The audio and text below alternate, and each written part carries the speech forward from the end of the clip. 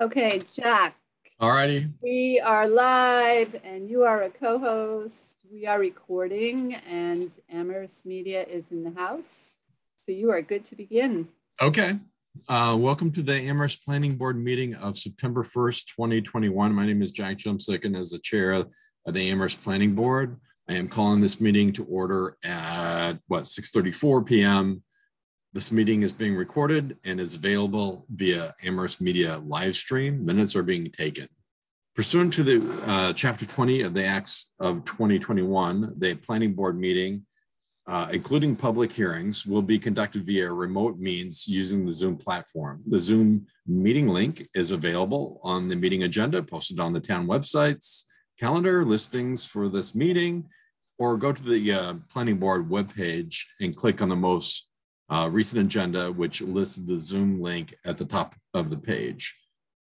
Uh, no in-person attendance of the public will be permitted. However, every effort will be made to ensure the public can adequately access um, the meeting in real time via technological means. In the event we are unable to do so for the reasons of economic hardship and despite best efforts, we will post an audio or video recording transcript, or other correspondence um, of the record of the proceedings as soon as possible after the meeting on the town of Amherst website. Board members, I will take a roll call. When I call your name, unmute yourself, answer affirmatively, and then place yourselves back on mute. Um, Maria Chao. Present. Uh, Tom Long. Present. Andrew McDougall. Present. Doug Marshall. Present. Janet McGowan. Here. And Johanna Neumann. Here. Okay, and uh, and myself, of course. Um, board members, if technical issues arise, we may need to pause temporarily to fix the problem and then continue the meeting. If the discussion needs to pause, it will be noted in the minutes. Please use the raise hand function to ask a question or make a comment. I will see your raised hand and call on you to speak. After speaking, remember to remute yourself. Opportunity for public comment will be provided during the general public comment period and is reserved for comments regarding items that are not on tonight's agenda. Public comment may also be heard on a, uh, at other appropriate times in the meeting. Please be aware the board will not respond to comments during the general public comment period. Please indicate if you wish to make a comment by clicking the raise hand button when public comment is solicited, if you have joined the Zoom meeting using a telephone, please indicate you wish to make a comment by pressing star nine on your telephone. When called on, please identify yourself by stating your full name and address. Put yourself back into mute when finished speaking. Uh, residents can express their views up to three minutes at the discretion of the planning board chair. If a speaker does not comply with these guidelines or exceeds their allotted time, their participation uh, will be disconnected from the meeting. So with that, um, we have no minutes to review, correct? That is correct. All right, so we have, let me bring up, um, looks like we have five attendees. Uh, this is a public comment period. Um, if anybody would like to speak, I see two hands, three hands. Uh, Susanna Muspratt, then Hilda Greenbaum, and then Pam Rooney. Mr. Jemsek, I also, um, to let you know, I have the, the timer. If you Can't hear you, Pam. Jack, I have the timer if you need it. Can you hear me? That, oh, you, yeah, you want to put that on? That's fine. Yeah, that'd be great. So, uh, Susanna um, Muspratt, you know, state your Name and address, please. Susanna Muspratt, uh, 38 North Prospect Street in Amherst. I have two general comments. Uh, the first one is that I know you have closed the public hearing on several of the issues on the agenda, but there ha have been some significant changes to the uh, the language that's being proposed since the public hearing ended. And so I hope you will allow further public comment tonight on those issues. The second is that um, when it comes to the apartments discussion, I would ask that um, Maureen provide an analysis of the impact of this change in the two BL districts downtown. She studied the impacts in a lot of other parts of town and completely ignored those two districts, uh, which we're very interested in. Um, and I'd like to see it both with the current zoning and with the proposed new zoning for those BLs. Thank you. Very good, thank you. Um, next we have Hilda Greenbaum. State your name and address, please. Hilda Greenbaum, 298 Montague Road. And I would like to be able to comment on both parking and the apartments when that moment arises. Um, I guess I had something else on my mind now. I can't remember what it was. I'll think of it in a minute. Thank you. Thank you, Hilda. Uh, Pam Rooney, state your name and address, please.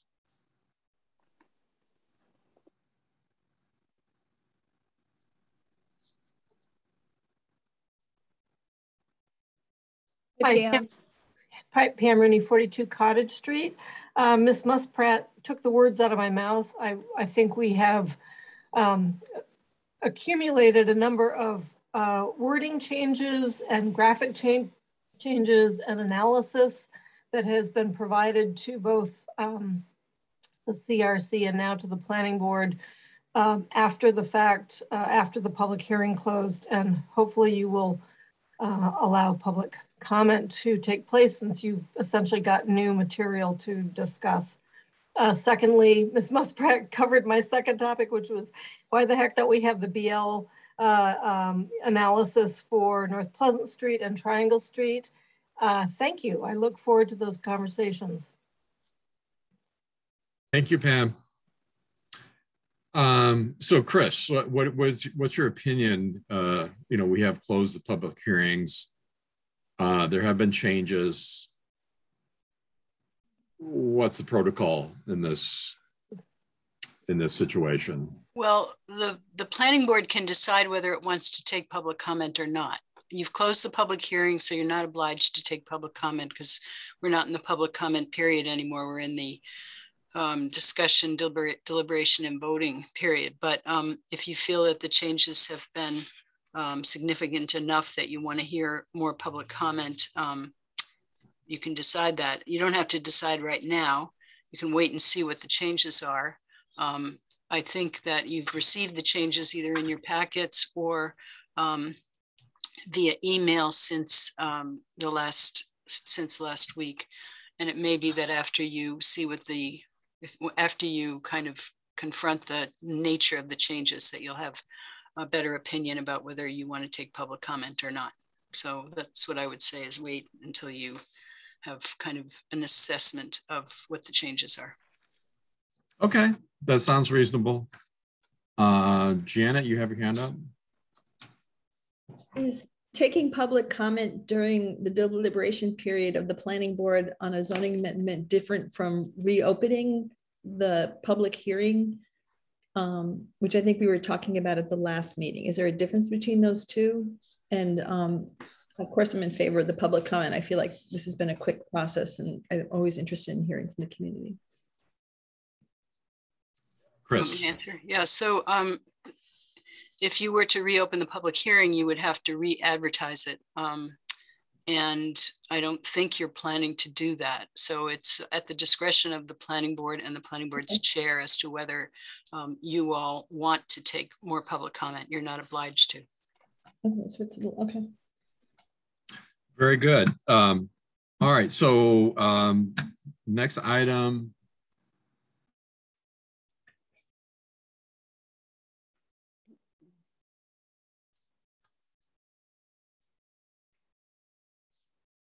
I can't hear. Jack's muted. I can't either. I can't hear either. I, what happened? I, am sorry about that. That's I, weird. I uh, uh, unmuted myself. All right, uh, but I was wondering, are there opening comments uh, that you gave me? I don't. Again, there's been a lot of files for this for this session. uh, Yes. Chris? Yes, Jack, it was with your um, opening comments. I scanned them all together into one document. Oh, there it is. Uh, I think. Yes, I got it. All right, thank you.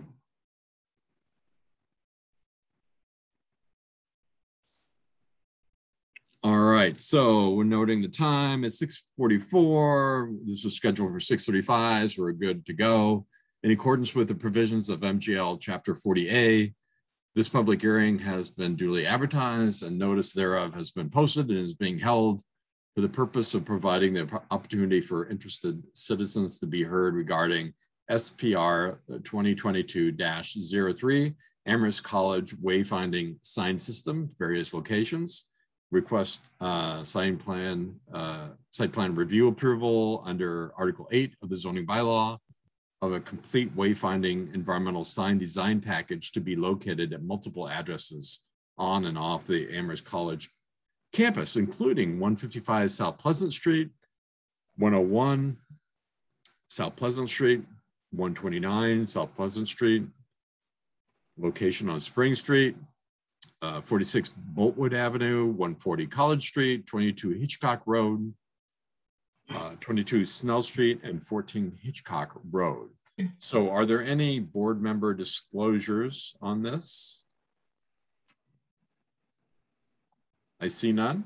All right. Um, and we would ask Amherst College to present this. Jack, may I make some remarks to set? Oh, I'm sorry. Yeah, you you you had asked that. Yes. Yeah. So, um, good evening. I'm Chris Brestrup, Planning Director, and I wanted to just um, give some remarks to put this project in context. Amherst, Amherst College is proposing to install a wayfinding sign system throughout their campus and elsewhere. Um, and there are three places where the signs are being proposed, and I'm sure Tom Davies will go into this in more detail later. But the three places are in the ED Educational Zoning District on the Amherst College campus. Amherst College is presenting a general overview, overview of the sign system to the planning board. And this will uh, satisfy the requirement in section 3.211 of the zoning bylaw, which requires that proponents of projects within the ED zoning district submit plans to the planning board prior to installation. Uh, the second part of their um, sign project is signs in the town right of way. And these include areas along town streets and the town common. These signs are being reviewed by town council, which has referred the signs to the TSO, Town Services and Outreach Committee. And the TSO has re referred them to the Design Review Board and Historical Commission, which have both submitted comments to the TSO. And the TSO will be reporting back to Town Council prior to its vote in a few weeks.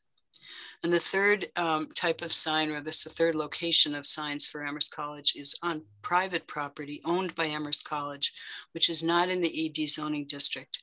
And these signs are generally located in the general residence district with one or two signs proposed in other districts. And these signs fall into two categories. Signs that meet the zoning requirements as to height, size, and number of signs on a single property. And I think Seth did a very good job of um, sort of outlining this in the big chart that he sent you.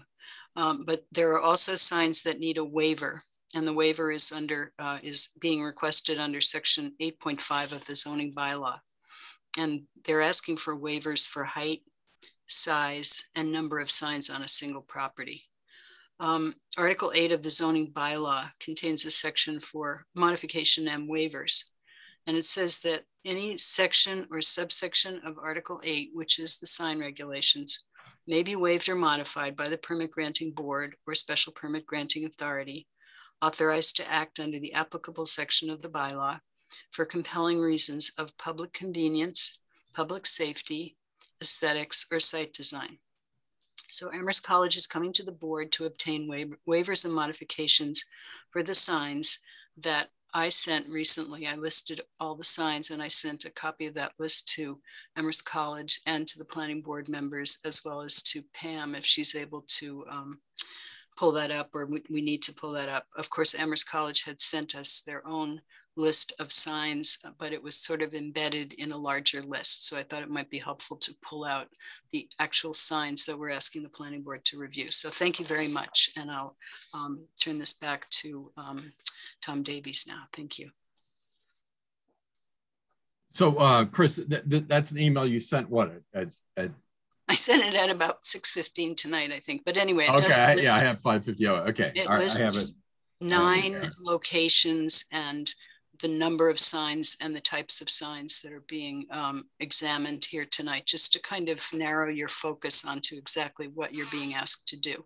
And Mm. you don't necessarily need to refer to this list tonight, but it may be helpful at, from time to time to refer to it. And I also provided you a set of maps which show at a large, a larger scale where these different where my understanding of these different signs is located. And that also may be helpful, but I'm sure Amherst College also has um, that in their presentation. So it's available if you need to look at it or want to look at it, but you don't necessarily have to do that. Thank you. Thanks, Chris. So Tom, Great. Hi, everybody. Um, thank you for your time this evening. Um, and thanks for persevering through what is a far more complex process than I think any of us would have ever guessed. Um, and Chris and her other colleagues at the town have been terrific in, in helping to guide us through this. Um, I will I will um, make a couple of introductory comments and then we'll we'll kind of run through all this with our um, uh, our folks here. We have Andrew Barresi from uh, Roll Barresi, who is our um, wayfinding and signage um, consultant and designer. And um, Seth, you mentioned earlier, has been really uh, spearheading the effort to try to figure this thing out and, and shepherd it through the multiple presentations and reviews and processes and trying to just keep everything figured out. Um, so um, I want to provide a little bit of context in that, um, although I probably don't even have to say this, but most campuses have some kind of uh, campus identification and wayfinding.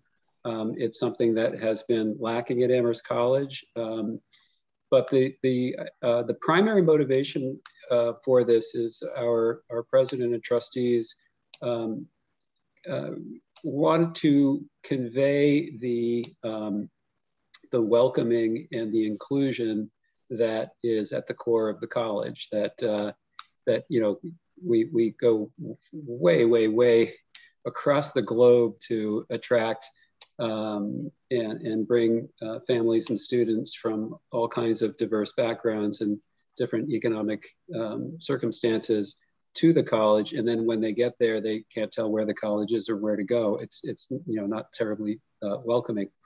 So that's really at the core of what this is about. Um, the, um, the second kind of just general comment that I'll make is that largely what we're talking about here are um, what I will um, maybe uh, some people may disagree, but but we're we're talking about technicalities largely uh, related to the fact that much of our campus, um, for historic reasons, is not in ED zone. Uh, we have uh, significant chunks of the campus that are in the general residence, um, and uh, just having you know and multiple dormitories, for example, on one property. So once you have a sign in front of each building, you know, that's more than one, and therefore we need a, a special permit for, or a, a, a waiver for that. So um, we'll be running through all that stuff. And um, I guess uh, we'll just start uh, running through it. And um, uh, I guess what I want to, what I'm, what I'm wondering out loud is if at some point you might say, okay, well, let's let's let's skip ahead and, and get to the next piece because there's a lot to it. So, um, with that as a um, kind of a vague introduction, um, why don't I hand it over to Andrew and um, he can step us through these different pieces to it. I can, Thank you. Can everybody see my see what's up on my screen here? Yes. Okay.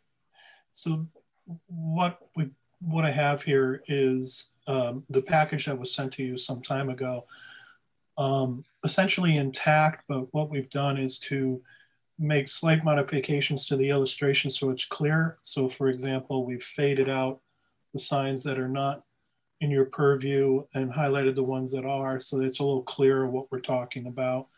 Um, we've augmented some of the sign elevations with little inset maps that show you where they're located. So again, it's just easier to walk you through it, but essentially it's the same information that, that was sent to you before.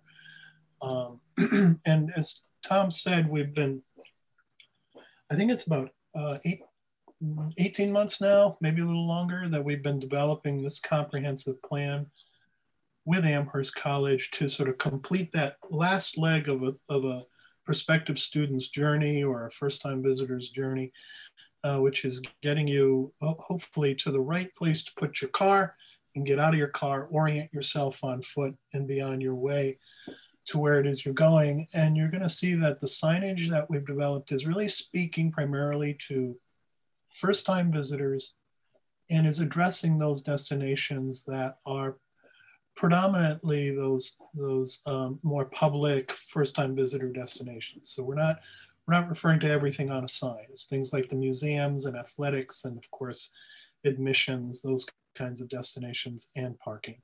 and what we've done is to create a system that is uh, has mul multiple parts. This first part you're seeing here is that welcome statement that Tom mentioned. Okay, so gateways to the campus, um, both primary gateways, such as at the intersection of South Pleasant College, um, and also down near the entrance to admissions and athletics, and secondary gateways, such as on East Drive and the entrance at, at uh, Quadrangle.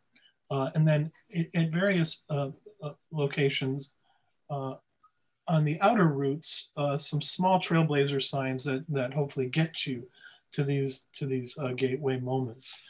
Um, the other sign types are for vehicular wayfinding. So directional signs like you see here on the left, both larger and smaller. The smaller ones are principally on the campus. There's very few of them, um, but they're helping very importantly to get visitors to accessible parking locations, for example. And then we wanna be sure that when you've arrived at a building, it's clearly identified um, so the Mead Art Museum, for example, or Pratt Field Admission Center, again, those high first time visitor destinations. Uh, smaller, lower profile ones uh, for those buildings that um, you're approaching uh, sort of face on as opposed to from a distance. Uh, and then very importantly, uh, parking. We wanna be sure that those principal parking lots for visitors are clearly identified as Amherst College lots. So those parking identification signs are part of the overall kit of parts that are consistent with the design uh, that you're seeing elsewhere. And then secondary lots uh, that are more sort of private kind of lots uh, have a smaller identification sign. Then finally, pedestrian wayfinding. So we want to you know, celebrate those museums, the performance halls, the theaters uh, with banners on campus and then, as I said, when you get out of your car, have a orientation map there for you. And we have a few different kinds, depending on the location and application. We have a, a three-sided kiosk, which also combines posters of coming events and those kinds of things. Um, we have a double-sided sign for most parking lots. It's upright, so it's right there and you can see it right when you get out of your car.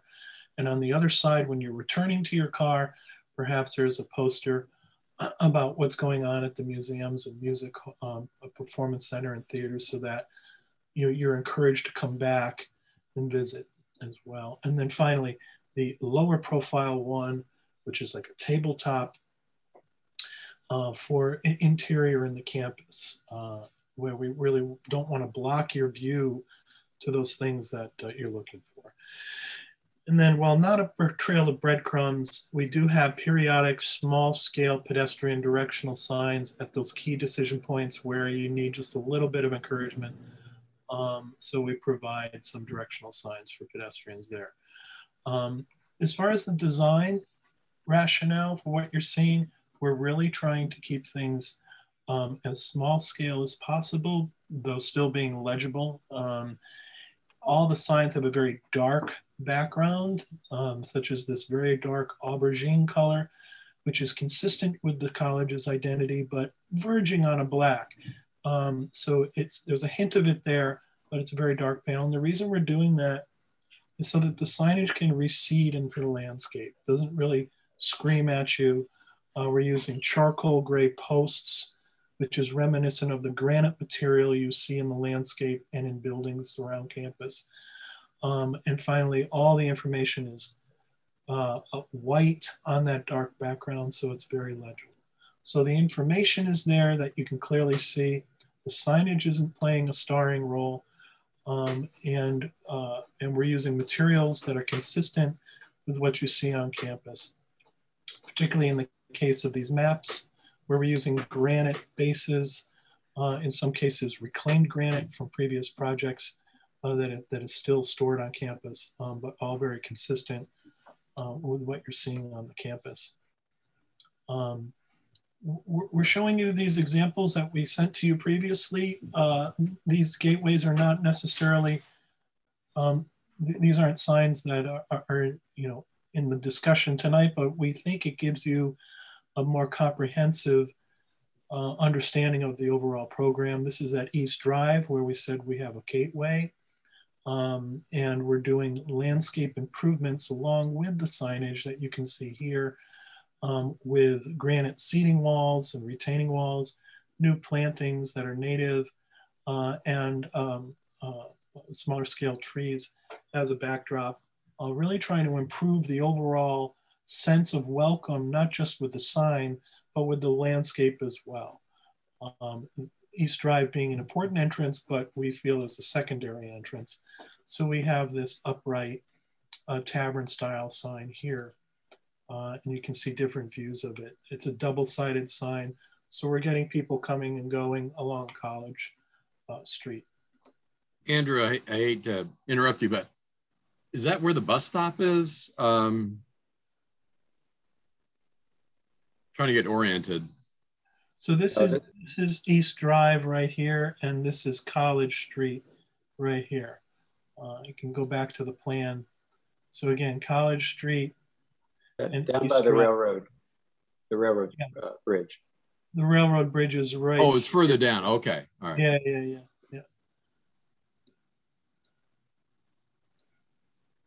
At the corner of College Street, running this way, and South Pleasant Street. This is at the, the, um, the four-way intersection. We have a, a, primary gateway which wraps the curved corner here like this, set back, uh, and we're making a proposed sidewalk and landscape improvements here as well. And you can see in the design here with the granite seating wall here so that people, if they're waiting at the light, can, uh, can sit uh, it's also designed in such a way that you can sort of see through it. It's not a big wall.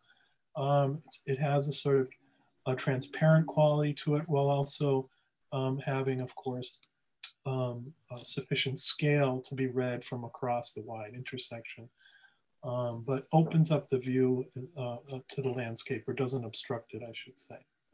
A similar type of gateway here along with similar landscape improvements um, at the entrance to the athletic center area and admissions, um, where you can see we're, we're, we're realigning the, the walkway through the landscape and a similar style gateway here with the granite seating wall and the signage with dimensional letters. Now, this is the comprehensive program you're seeing here and that was in your packet.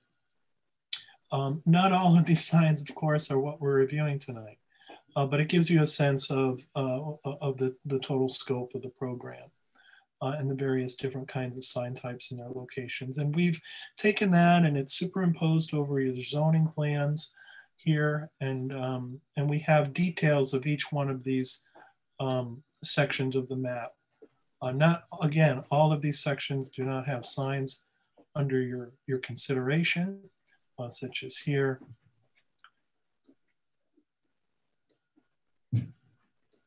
But uh, in this location here, uh, this is Main Street, And this is South Pleasant Street here.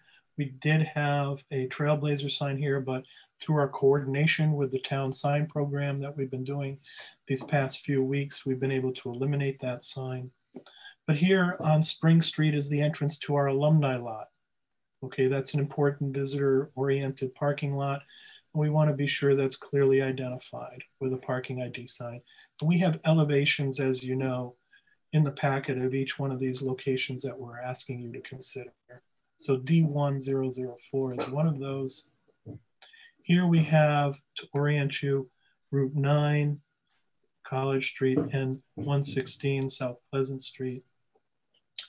And here at 79 South Pleasant, where the uh, building that houses the human resources is located, it's very important that we identify that with an Amherst sign because it does get outside visitors. Uh, so we have C1004 on that parcel, as well as a, a three-sided kiosk at that location. And then um, we have a small scale parking identification sign on that parcel as well. Uh, so we have three on that one parcel, hence the request uh, for the waiver there. On this parcel down here. Excuse me, may I say something? Yeah. Um, sorry to interrupt, but I think that the actual address of the signs that you just talked about, the F1002 and the C1004 are actually on the adjacent parcel. They're not actually on the parcel that has 79 South Pleasant. Just, I wanted to clarify that for the planning board members who have lists of all of these signs. So those signs are actually on, um, what is that?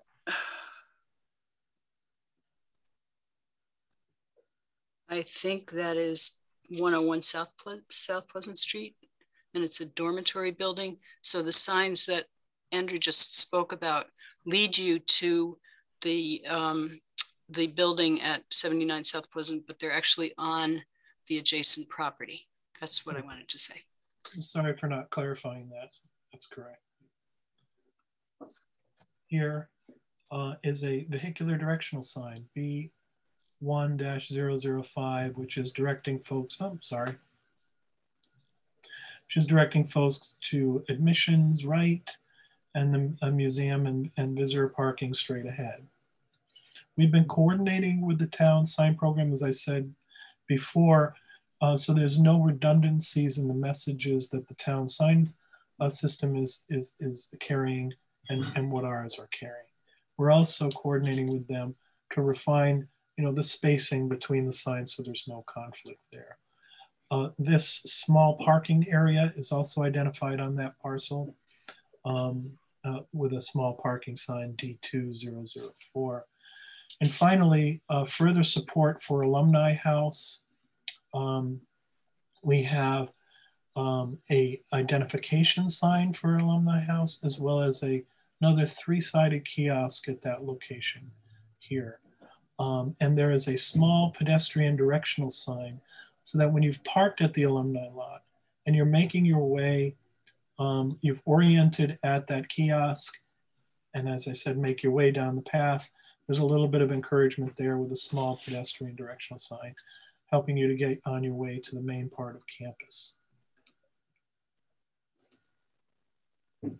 Here on Hitchcock Road, we have a, a building identification sign, a small scale one, um, C2-003. I believe that's Smith House. Um, and off of South Pleasant Street, C2005 for, um, I think that Scott House, and, and this is um, um, Pontypool as well. So just small building identification signs for those uh, buildings on, on those two parcels there. And a parking identification sign, the second one for the alumni lot on Seelye, because some folks approach, come off of college and go up Seelye here to enter that lot as well.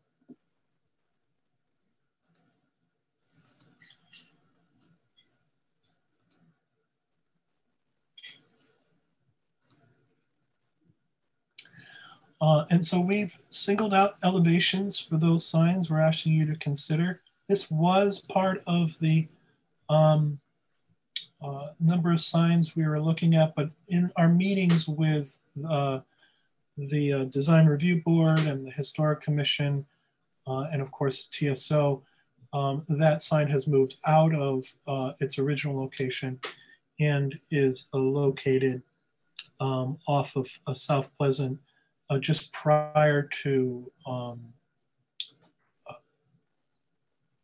Billbrook. I can't. I'm, I'm, uh, I'm, always misplacing the name of that that small street. Um, uh, because of a conflict with the town directional sign at that location as well. So again, we're trying we, we're we're trying to accommodate and coordinate with the town sign system as much as we can and make modifications um, where possible. But that is no longer a sign that we're asking you to look at. Uh, for what it's worth, I think that's Walnut Street there. Uh, Chris, you have your hand up still.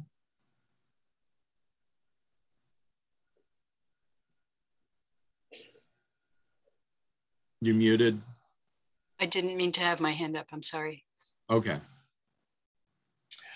Um, there is, uh, this is that uh, directional sign that I mentioned on Northampton Road leading up to the intersection.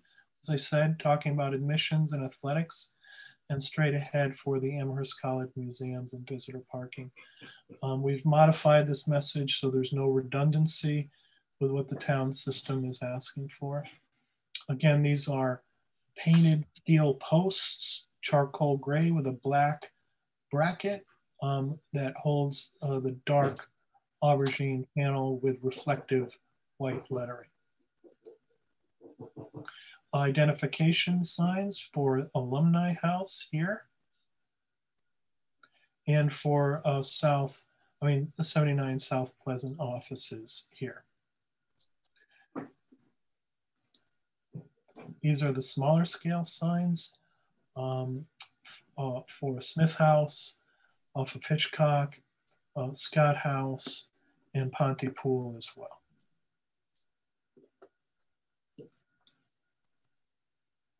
And parking lot identification signs. Here we have an opportunity to give permit information when when you can and can't park there as well uh, with regard to overnight parking. So we're doing that for uh, the alumni lot at the entrance off of Spring and at the entrance off of Seelye. And the smaller scale ones for the secondary lots um, here at Hitchcock Hall, uh, Hall, and uh, College and Morgan Halls. This is the three-sided kiosk with the granite base and the uh, locked display case that houses digital prints, um, which will be backlit. So inside there'll be illumination but it's just to um, provide lighting at night for those translucent prints that will be in the case. Uh, this is the one, there's one in front, um, in, in, in, the lot adjacent to 79 South Pleasant, as well as adjacent to the Alumni House. And the two-sided uh, style here at the Dickinson lot as well, uh, near East Drive. And here's that small pedestrian directional sign I mentioned from your path from Alumni House uh, to the campus. Uh, again, talking about those key first time visitor buildings like uh, the Music Bill, Arms Music Building, Converse Hall, where there's often conferences, um, Mead Art Museum, the chapel, of course, and the two theaters.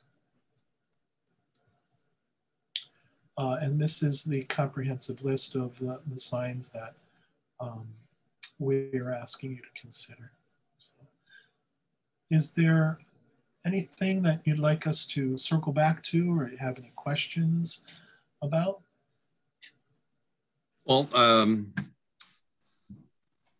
I believe, you know, we have a, we had a, a site, site walk here. Um, someone from um, like to make a report on that? I think Tom, Maria.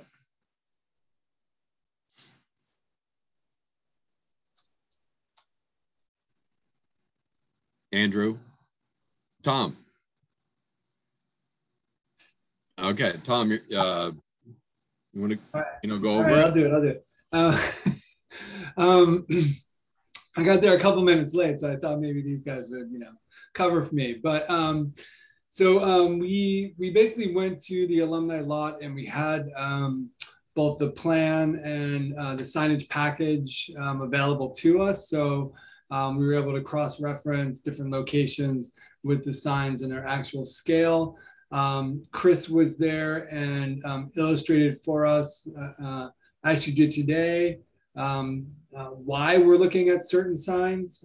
There are more than uh, we would typically allow by zoning within this particular site, or this one is too tall, or this one is too much square footage, and so on. So we were able to have some clarity about why we're looking at the different signs, um, which was super helpful. Um, and when we started in the alumni lot, we were able to move through a collection of at least four different locations right within that particular site where we were able to see um, where we would have uh, the information um, uh, kiosk that we see here, as well as a smaller sign and one of the taller uh, parking signs as well. So we we're able to kind of see where all of those different sign types, um, actually even a ped small pedestrian sign, yeah. so we're able to see where those would all be within that location.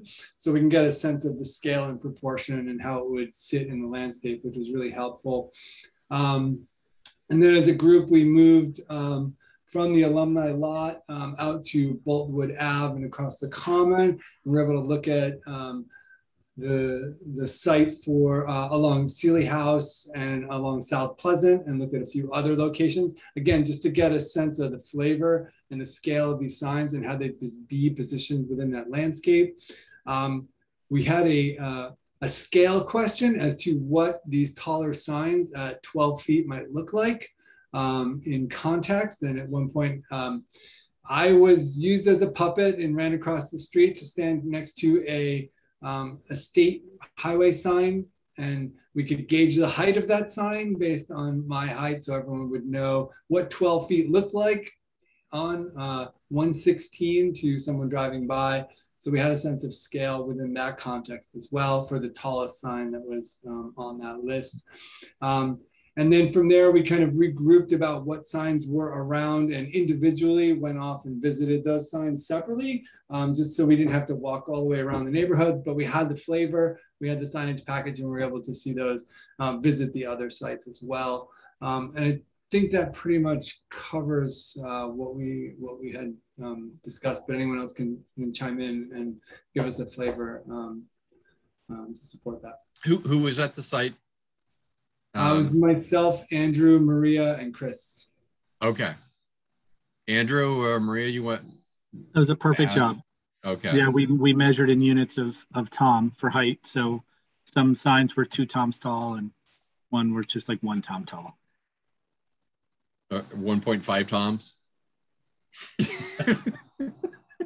um, so is this, it, I'm just wondering uh, for the folks that did this, is this, um, can we kind of like um, review this as one package or do you feel like it needs to be divvied up or because it is quite expansive you know you, you know normally we're looking at one sign and here we're looking at you know a couple dozen um, just wondering you know what what your feelings were on that tom and and then andrew Sure. I mean, my, my sense was that we were looking at a package and we are gauging how it would fit into our landscape. And I think it would be a challenge to go through each one and say, you know, this one's oversized by two square feet in this dimension, or this one is too tall. I think we were looking for the moments where we found something that might be offensive or obtrusive or break with the consistency of Amherst landscape. And I think at least the, the way I approached it, what I, I, was looking for the anomaly. I was looking for that which might be a problem.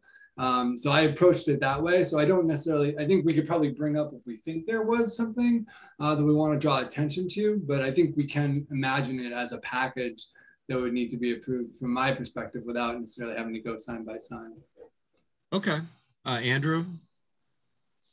totally agree with Tom. And I think uh, just Andrew's presentation helped um, help us understand the intent of some of the heights of these. Um, you know, as we walked the placements, I think there's certainly nothing that was even remotely obnoxious or concerning. Um, I, I would agree that we could look at them as a single package. Very good. Thank you. Um, so that's the site visit report. Uh, and I could just open up to the board at this point. Um, I see Doug. Yeah, I had uh, three three questions, and I guess one is directly related to the graphics and the sign design, and the other two are more peripheral but related, I guess. So the first question was about the building signs where you listed a date under them. Um, and I can assume, I guess, that the typical date is the date of completion of the building if Amherst College built it. I'm just curious if, if it's a building that you purchased, what date do you use? Uh, they're consistent in that they are the date of the original construction. So for example, 79 South Pleasant that Andrew just pulled up here, uh, we purchased in uh, 2005-ish. Okay, um, all right. And yet, you know, we're, we're we're calling it 1834. Okay, and then um, I noticed on the town engineer's letter that he uh, said we need that this uh, should include the replacement of the failing brick and granite sidewalks on South Pleasant Street. And Tom, when when you were here before us earlier this year, you know you sort of tried to be as diplomatic as you could that Amherst College had put those in and the town was obligated to maintain those. Um, it seems like there's some sort of disconnect between the town and, and your uh, college. Uh, so I wondered maybe Chris could advise us on how we kind of address that comment from the engineer. May I? Yes, Chris. So I think that the town engineer um, was commenting on um, the sign project in general. And I think his comments really related more to the um, sidewalk that is being proposed um, around the corner of, what is that? Um, the entry drive into the athletic center and South Pleasant Street. Um, and that's not one of the things that the town uh, that the planning board is reviewing. That's one of the things the town council is reviewing. So I would say as far as um, the planning board's review of this project, that issues related to crosswalks are not relevant. Um, and there is a sort of continuing dialogue between the town and the college about um, those crosswalks. But as I said, it's not part of the planning board um, okay. review process. So, so then the last comment um, I think was more something that it makes me kind of makes me wonder whether we on the planning board ought to be thinking more about since a lot of these reviews are because we have Amherst College buildings that are not in the ED zone. Um, you know, should we be thinking about redefining, you know, expanding the ED zone to be more reflective of the current uh, boundaries of any, any of our higher institution, uh, higher education institutions in town. Um, you know, I know Amherst College and, you know, they all probably buy and sell property on a slow moving basis, but maybe we, it's been a little bit too long since we considered that. So uh, that's a comment, I guess, for Chris and maybe our agenda at some point in the future it's certainly something to be considered. So we will put that on our list of things to talk about in the future. And Tom Davies has his hand up. Okay, Tom. I can, without question, uh, tell you that the college would wholeheartedly embrace that effort and um, would make all kinds of things about our lives easier uh, in the future. So um, we, we look forward to that conversation and can you know, participate however you, you all decide uh, is appropriate. So I assume that, there's like some contiguous kind of, you know, uh, properties that could be um, readily identified. Is is that fair or? Yeah, and a lot of the properties, I think that would be in question you know don't have residential scaled don't have residential buildings on them nor residentially scaled properties. So you know maybe not every property we own would be a candidate i don't know but certainly some of them you know haven't had residential properties in over 100 years. So you know we could talk about this the scale and proportion relative to their zoning district yeah okay um and are there any other board? Um, oh, um, Doug, you have your hand up? Yes. Yeah, Doug? yeah. I, I, I guess I neglected to say I thought this was a really nice package. Um, you know, very uh, sensitive, and and the presentation to us was pretty complete. And um, you know, everything looks tasteful from my perspective. Uh, I'm, ass I, I'm assuming I would call aubergine purple, but other than that, I don't have uh, too much to comment. Uh, so, uh, you know, thanks. I think it looks great. Yeah, I mean, it's some some of those, uh, you know, the ones with the Amherst College there, they, they, they don't exist, which is kind of surprising. So it'll be a, a welcome you know, addition to to our premier sort of intersections downtown. I think. Uh, Maria. I was just gonna say it looks more like eggplant to me, but I think yeah, very uh, very tastefully done. And where we walked, it looked like it would just sort of blend in where appropriate and stand out where appropriate. But um, yeah, I think it's more of an eggplant. All right. Um, any other comments from the board? If not, uh, we can open up to public comment. Okay, see none. So let's uh, see if there's anything in um, public comment. Let's see, we have eight attendees. I see nothing. So um, I don't know if the applicant, I, I don't feel like you really need to respond to anything, but you, you're welcome to tie up anything based on what you've heard. Okay, good, good. Um, and so someone, okay, Doug and then Andrew. Well, I thought at the beginning that Chris mentioned that she hadn't put together findings or conditions or anything for us to review. I guess the question would be, are, can we move this tonight or do we need to wait for those?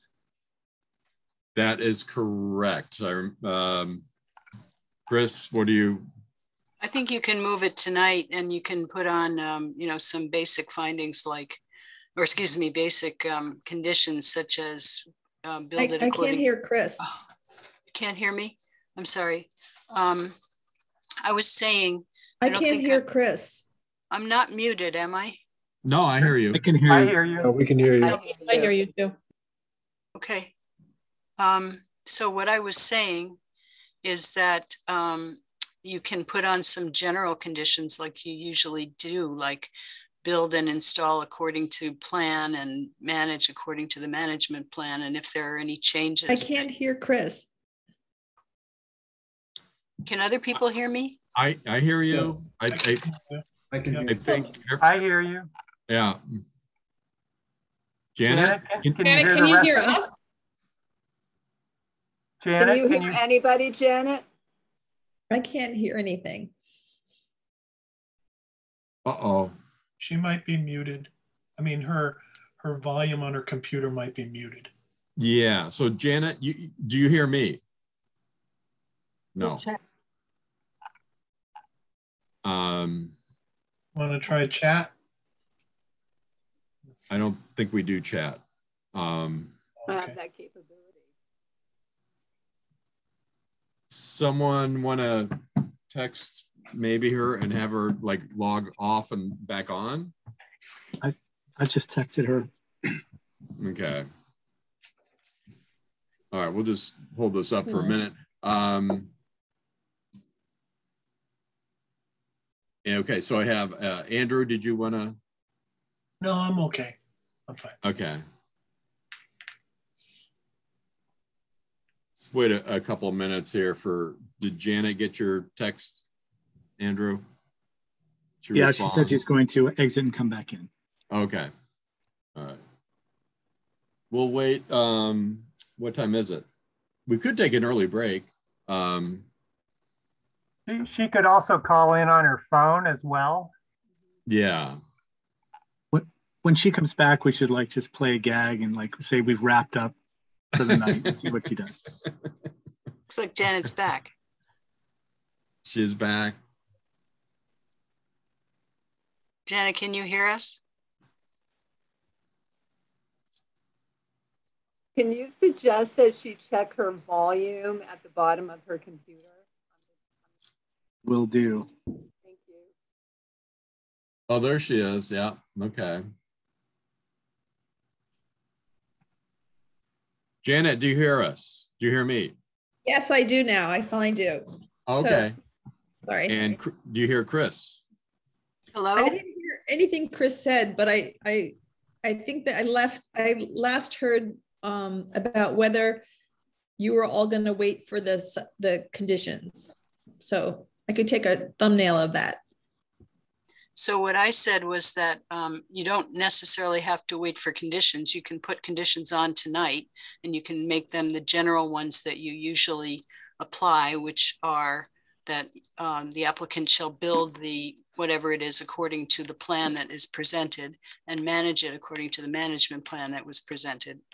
And that um, if there are any changes that they need to, any significant changes that they need to come back and show them to the planning board to uh, determine whether a new site plan review application is needed. And um, the significance of changes is usually determined by the building commissioner. Thank you. Thank you. And then you can also, in terms of findings, um, have your general finding that um, this project meets the relevant criteria of section 11.24 of the zoning bylaw.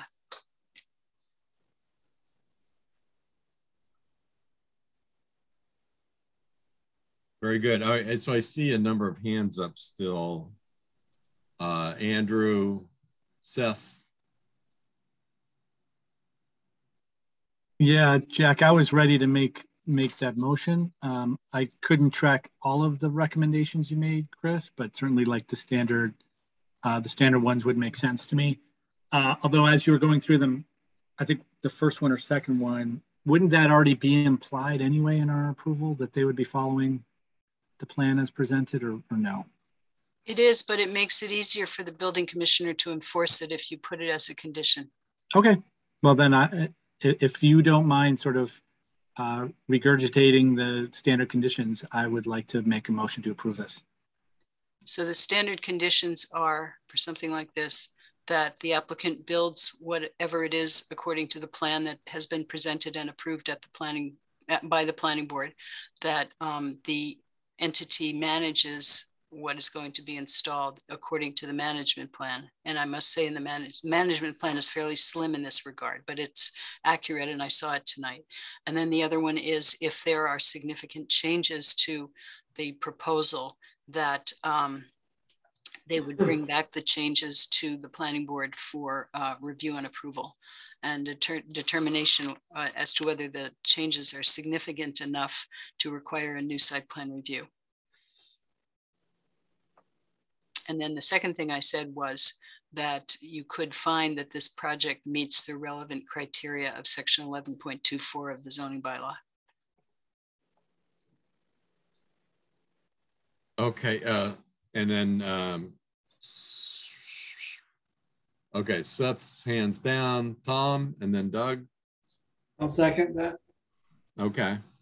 So, um, so moved with regard to what Chris has stated. Any further discussion?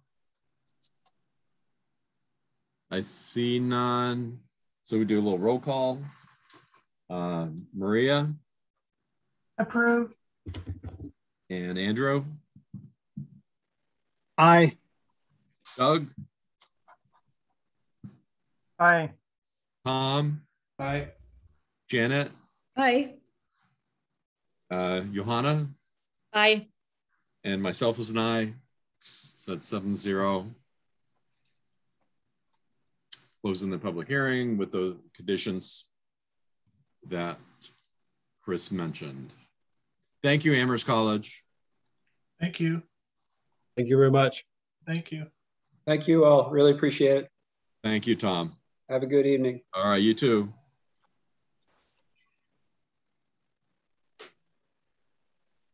All right, so it's 734, and now we're going on to uh, zoning amendments. And again, that we've we've gotten a lot of info um, on this. And Chris, I, I don't know if you want to kind of give a preamble to where we are as we dive into the first one, which would be the zoning bylaw article three, use regulations, uh, section 3.2, 3.323, apartments and article 12 definitions. Um, discussion of vote on recommendation to the town council uh, to see if the town will vote to amend section 12 definitions of the zoning bylaw to revise the definition of, of apartments by removing the limit on the maximum number of dwelling units per building to amend section 3.323 to change the permitting requirement for apartments from special permit to site plan review for the residential village center uh, district and from site plan review to the special permit to the general business uh, district. Uh, and to modify requirements regarding the site bedroom uh, count of units to require that enclosed Enclosed parking on the first or ground floor be located at the rear of the building and designed to reduce visibility from the public way and require that the principles and standards of the design review board be applied to all new apartment buildings. So it's my understanding that this is this is um, it's been tweaked a little bit. Um, and Chris, I'm wondering if you can kind of I'll give a general statement and then Maureen uh, Pollock is here to um, talk about specifics. So okay. the general statement is um, three things have changed. One is we're no longer um, suggesting that you uh, allow apartments in the RVC zoning district by site plan review. We're um, reverting to special permit there. Um, there is a, a, section that's been added having to do with um, location of apartments, and I'm going to let Maureen explain that. And then Doug had a suggestion about wording under enclosed parking. So Maureen can um, talk about that as well. So they're really just those three things. Just those two things. Okay, so Maureen. Oh, there you are. Oh, hi. Hi. Hi, hi everyone. Um, one second. Okay, so I could, uh, can everyone hear me? Yes. Yeah, okay, great. Um, it's a little stat staticky on my end for some reason. Um, so I could uh, share my screen to show you uh, the proposed uh, language and um, if folks want me to go through uh, the, the latest slides that I uh, provided, um, I believe the PowerPoint is dated uh, August 27th. Um, so I could go through that. So let me just pull up the, um, the proposal. Um, let's see here. So um, can everyone see the, the draft language here? Yes. Okay, so just to recap, uh, so the the green bold italics text is the proposed language and the bold italics with green lettering and highlighted in yellow is uh, indicates the proposed language dated uh, August 16th. So that's the latest edition. And then the red strike through uh, in bold um, indicates uh, removal of the existing zoning bylaw. And so just to repeat, um, under Article 12 definitions, the, propo the proposal is to remove the, uh, the maximum amount of units in, a, in an apartment building, which is uh, currently maxed out at 24 units. And uh, we would be uh, proposing to remove that. Um, and um, as Chris had indicated um, earlier in this process, we had uh, proposed that in the uh, Village Center Residence Zoning District, um, that it would be by um, site plan review. Um, we're redacting that and uh, agree that that that should be by special permit. And we are still uh, proposing that uh, in the general business zoning district, it would, uh, the proposal is to uh, allow it by special permit instead of the current, which is by site plan review. Um, this section just repeats about the removal of the cap of 24 units per building. Um, and so the latest revision um, is here um, highlighted in the green text in um, highlighted in yellow, um, which states uh, proposed apartment building located on any given parcel that fronts onto East Pleasant Street, North Pleasant Street, South Pleasant Street, Main Street, and Amity Street within the general business zoning district shall not be located within 500 feet of an existing apartment building. Uh, the distance under this section shall be measured in a straight line from the nearest point of the building in question to the nearest point of the building where the proposed apartment building is or will be located. Um, and um, I could um, certainly show you uh, a few slides um, that I provided to illustrate um, that proposal. Um, and then continuing on the original, um, uh, no changes to our other proposals, which uh, the bedroom count gets into um, how, uh, you know, apartment buildings with 10 or more units, uh, there would uh, have to be no more than 50% of the total number of dwelling units could have the same bedroom count. Um, we are getting um, rid of the management plan section largely just because it's redundant. It's a requirement under the Planning Board and Zoning Board of Appeals rules and regulations, and as part of the application uh, form itself. And as Chris indicated earlier, uh, we made a slight modification to the section about enclosed parking, uh, which um, is to say that enclosed parking would on the first or ground floor uh, located inside the building would need to be at the rear of the building and it would be de desi uh, designed to minimize um, that's the slight uh, modification minimize the um, the visibility from the public way or walkways in areas customarily used by pedestrians and the public. Um, oh and this should be uh, I guess oh yeah I guess that is in the um, existing language but just as a reminder um, in all dis zoning districts the permit granting authority shall apply the provisions, uh, the design review principles and standards uh, for any new um, apartment building um, under this section. Um, and so it, it, it says uh, shall apply on those sections. Um, and so if you want, I could pull up, hold on a second. Um, so um, let's see here. So this is,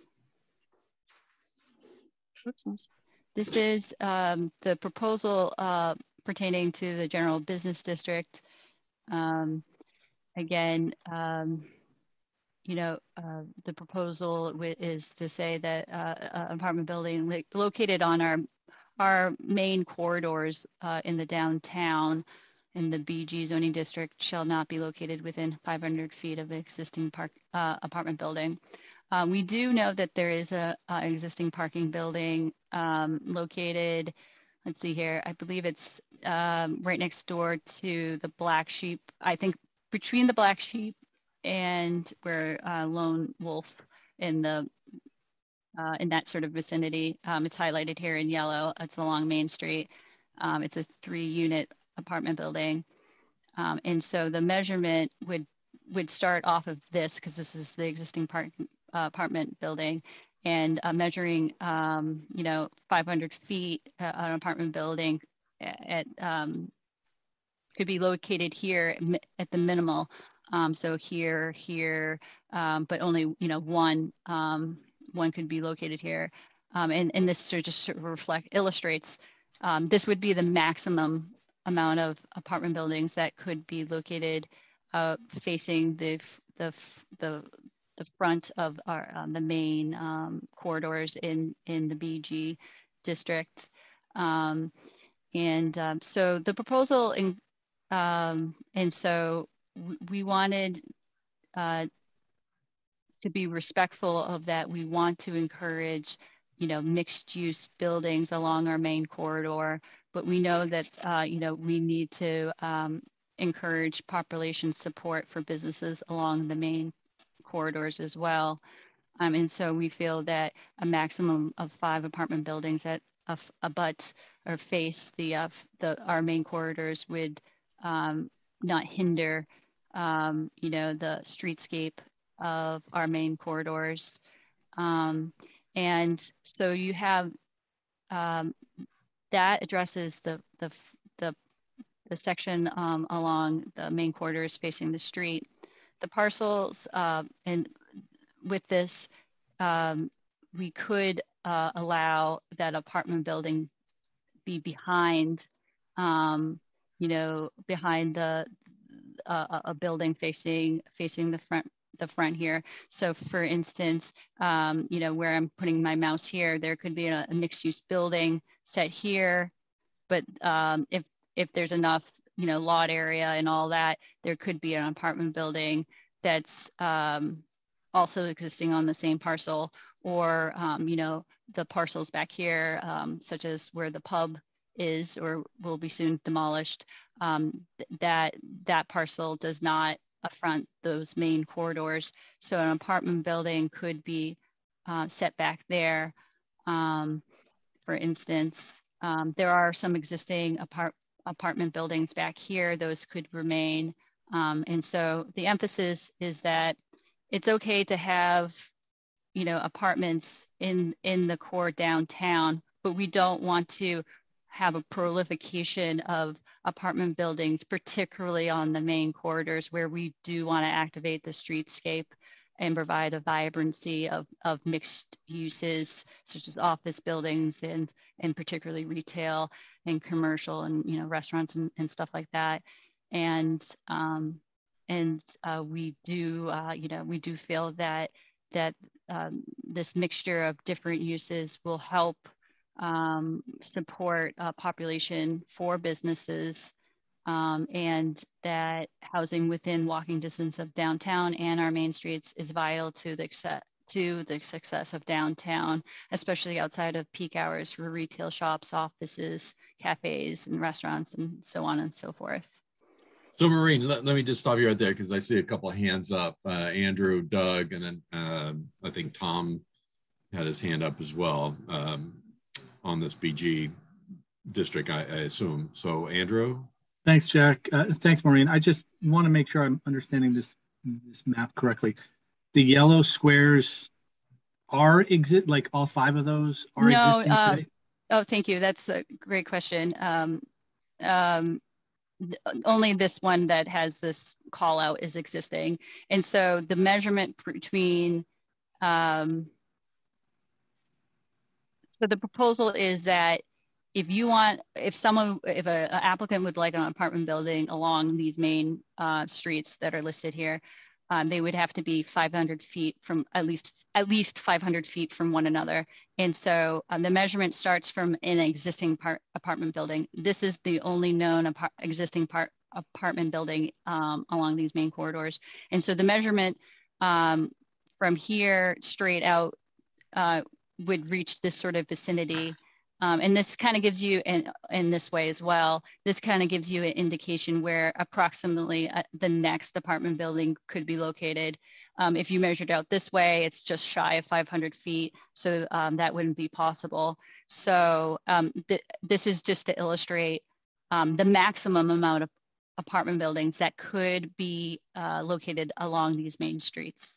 Okay, no, thanks for clarifying. So then the other like I know there are other residential properties. They're just mixed use buildings. The one exactly. Yeah. Exactly. Yep. They're Very all good. mixed use. Yep. Okay. Thanks. Thank you, Andrew. Doug? So the way you have this worded, um, we can't build any apartment building on these streets if it's within 500 feet of any apartment building. Uh, so That's- for instance, the hatched area you show on Amity Street, that's gonna be prohibited by the existence of the Perry apartment building. And the hatched area you show on Main Street near Churchill, that's gonna be prohibited by the elderly housing apartment building that's kind of across the street, across the park from that. So I think, you know, I think if your intention is that we're only trying to measure from apartment buildings that uh, front one of these streets and is within the BG district, we need to add that language to this proposed bylaw. Uh, uh, uh, that's a point well taken, uh, Doug. Yeah, so the intention of this proposal is that uh, the measurement would be only applicable uh, for parcels um, that are highlighted in the sort of hatching um, as they are the parcels that up front um, that front, um, you know, east, east, north and south Pleasant Street, Main Street and Amity Street. And so parcels that are in pink, if you will, um, those are not um, part of the measurement. It would only be measured um, within 500, uh, with, um, within the sort of, um, the, the, the measurement is only within the, the front part. yeah, I just think the way you've got it worded, yeah. You know, we're going to be measuring from any apartment building, regardless of whether it fronts one of these main streets or and regardless of whether it's in the BG district. Okay, point well taken. We can certainly uh, take a, a, closer look and see how this could be um, word, you know, reworded to be, a, a you know, uh, more clear. And then I had, oh, sorry, Doug. Well, I had uh, one other grammatical or uh, word choice edit, but I can come back to that later. Okay, Chrissy. I wanted to ask if we could come up with some wording now that would um, satisfy this issue. So what do we need to do? Add some words after the existing apartment building? Um, Let me pull up the, this is the official wording. Um, the the slideshow is sort of a um, is sort of a just a um, a less technical. So it would be, shall not be located within 500 feet of an existing apartment building that is located in the BG zoning district. Is that what and and all and also fronts within the frontage the, the same streets. Yeah, it has to mimic the exact same statement about East Pleasant, North Pleasant, South Pleasant. That yeah.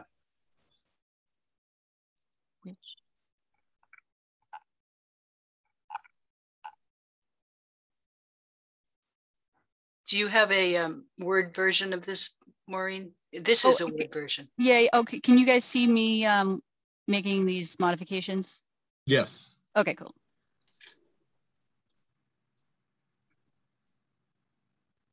Uh, would this be, um, how does this look? Uh, so um, a, proposed, uh, a proposed apartment building located on any given parcel that fronts onto East Pleasant, North Pleasant, South Pleasant, Main Street, and Amity Street within the general um, zoning district shall not be located within 500 feet of an existing apartment building that is also that is located with the general business zoning district. Uh, and, which, and and oh, thank you, thank you. Fronts and also, and, you know, and also, or, or maybe you. the also might go where you had it earlier, right after located. Oh, here you mean? Yeah. Also, also um, that is located also also within.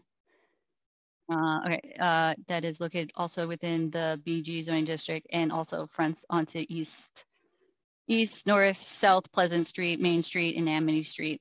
The distance under this section shall be measured in a straight line from the nearest point of the building in question to the nearest point of the building where the proposed apartment building is or will be located. Good work, Maureen. No, good work, you guys. Thank you. All right, so uh, Chris, you, your hand is still up. I'm putting it down. Okay, Janet, and then Doug. So I'm wondering, I mean, I'm not in favor of this, um, that particularly that language, but it, you know, it seems to me two things will happen is that it will push um, apartment buildings, five-story apartment buildings sort of on the lesser streets that connect in. Um, and I counted at least one, Pray Street, Triangle Street, Lessey, Boltwood Walk, Kellogg, Hallock, Coles, Boltwood, I think I said Boltwood, and Churchill and Spring Streets. And so um, it could just push, you know, very dense apartment buildings onto those streets, which of course are very close to um, residential neighborhoods. Um, but I, I, I'm kind of at a loss of why we're here because it seems to me that the downtown has had the remote, most robust development of residential unit units. Um, it's been able to do that with first floor businesses.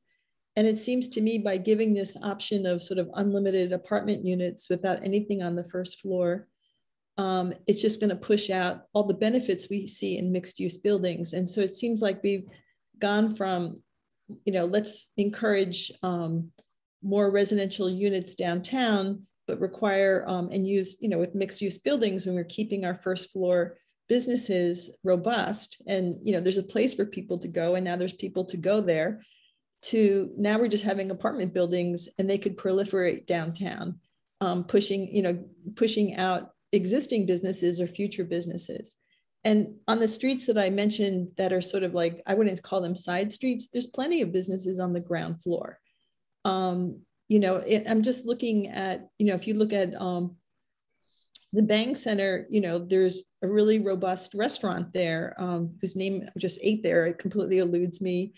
Um, there's a whole bunch of businesses there.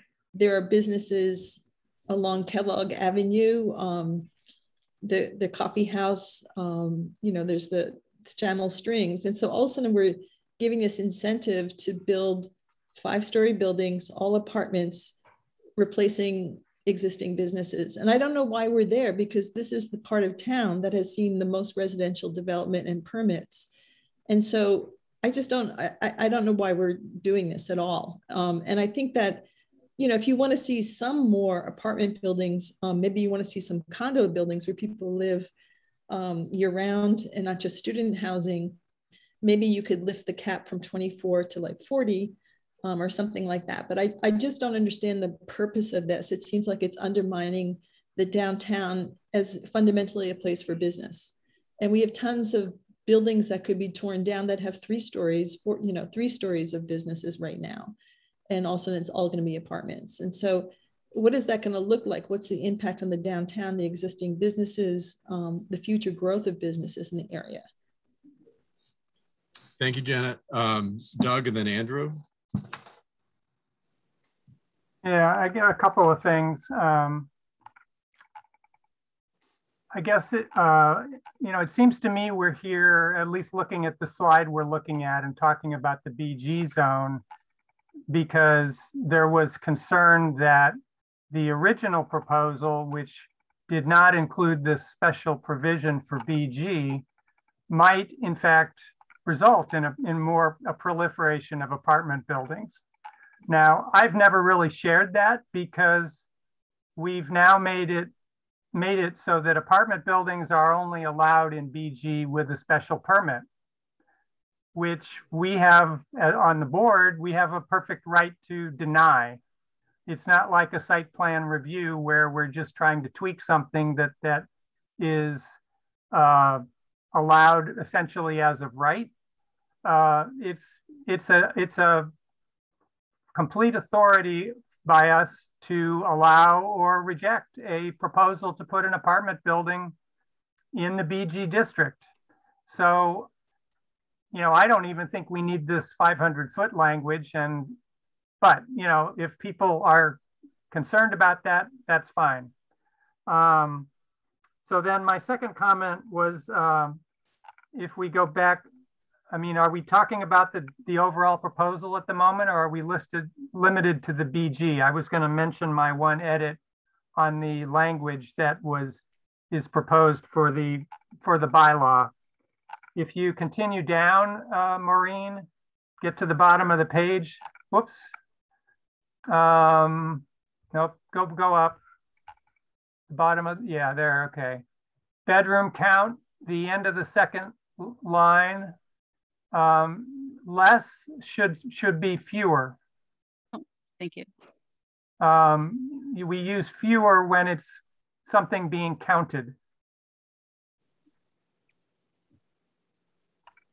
Thank you. Thank you, Doug. Very good.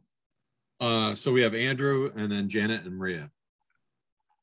Thanks, Jack. I, I would I would just say to to both Janet and Doug, I think yes, right? I mean, I think ultimately we want to um, prevent the apartment the apartments from being built downtown. We want to make sure we've got the vib- vibrant ground floor. So uh, I agree, Janet, with you that it you you could say that maybe this shouldn't even be in the conversation because uh, we don't want any of these. But then I also think uh, Doug makes a great point that we don't have to have any of these if we don't want to. Um, so it seems like there's a mechanism in here to prevent apartments from being proliferated.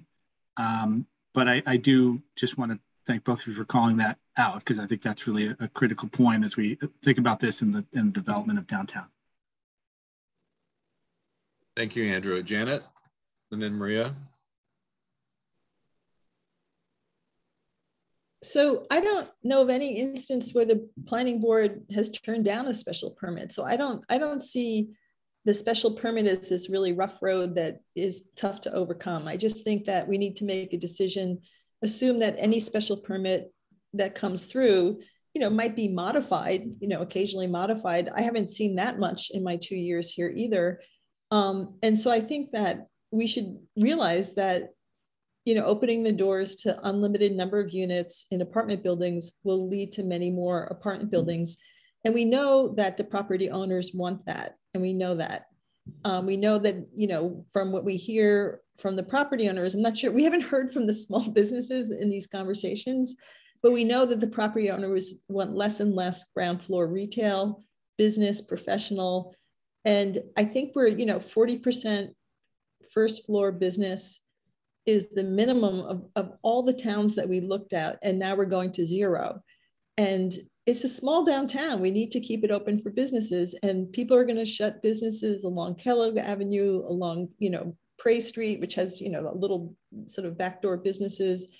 Um, you know, they could be taller buildings, they could be more robust um, with more apartment buildings, but they're not going to be here if we're opening this door. And I think that it's a fantasy to think that we're going to turn it down because I, I haven't seen the planning board do that. And so I think we need to look at this with hard heads and just say, okay, 10 years in the future, what happens when all, you know, there's like six apartment buildings downtown and we've lost, you know, a few, you know, thousands of dollars of thousands of square feet of business space because it's so lucrative to have apartments, but it's so lucrative to have apartments. That's how we get our first floor retail in and vibrancy and small shops and a place for people to, you know, start and grow and, you know, really a functioning downtown that I see in other, you know, I see it in Burlington, I see it in Northampton, I see it, I mean, I see it in lots of places, but the downtown is filled with first floor retail. Arlington is the same way, where I just was, um, you know, North Cambridge. Thank you, Janet. Uh, Chris, and then Maria, and then Tom. Maureen has her actual hand up too. And oh. I just, I just wanted to offer the fact that this is a special permit for use and um, the SP indicates that it would be by the Zoning Board of Appeals. So it wouldn't actually be a special permit from the Planning Board. It would be a special permit from the Zoning Board of Appeals. Thank you. Thanks, Chris. Uh, Maria, and then Tom. Yeah, I, was gonna say, this is special permits are not planning board, so we wouldn't be reviewing it. Um, I actually want to backtrack a little, kind of on the same theme of this. Is um, Maureen, could you tell me why, what what happened with the SPR getting changed to SP for RVC for residential village center? I I maybe I missed some meetings, but was that just out of the blue or did that already happen? Maybe I missed the meeting. I uh, I, I, think this might be the first planning board meeting that this has been mentioned. Um, okay. There was um, a lot of um, concerns about um, making um, it by site plan review um, from member um, in the RVC by members of the public and from um, board members. Um, and so we uh, felt that it would it would be okay to keep it by special permit and and so we were uh, and it seemed to make sense. So we we, we decided to just to, to keep it as is by special permit. And um, just to clarify, if I may, um, so in the almost four years that I've worked with the town of Amherst, uh, I am the staff liaison to the zoning board of appeals. And while the in my almost uh, four years here, uh, the, the zoning board of appeals hasn't denied a special permit. Um, but what often happens, or not often, when it does happen, which has uh, a growing list of, of examples is that when the board has issues with projects and feels that they cannot make findings um, to approve a project and indicate that during the public hearing process, the applicant has uh, requested to withdraw without prejudice uh, because the applicant knows that the board is most likely going to ultimately deny the application. Um, and so that gives that applicant a chance to, uh, you know, to, uh, to go back to the drawing uh, board and rethink the the proposal and um, and then weigh out whether they want to resubmit um, uh, an application with all the zoning board of appeals uh, comments and concerns raised in the public hearing process, as well as members of the public that um, had um, been uh, actively engaging in, in, that public comment period um, each time. So there is definitely a handful of um, of these examples that uh, the zoning board of appeals um, has um, dealt with. Additionally, um, the Zoning Board of Appeals has, um, in my time, um, certainly pushed back on applicants to, uh, to uh, lower the proposed building uh, height and, uh, and amount of floors. They've actually um, uh, additionally have uh, challenged developers to reduce the amount of uh, units in buildings as well. Um, so the Zoning Board of Appeals is, is, is, is very comfortable to have um, these sorts of uh, discussions and negotiations during the public hearing process.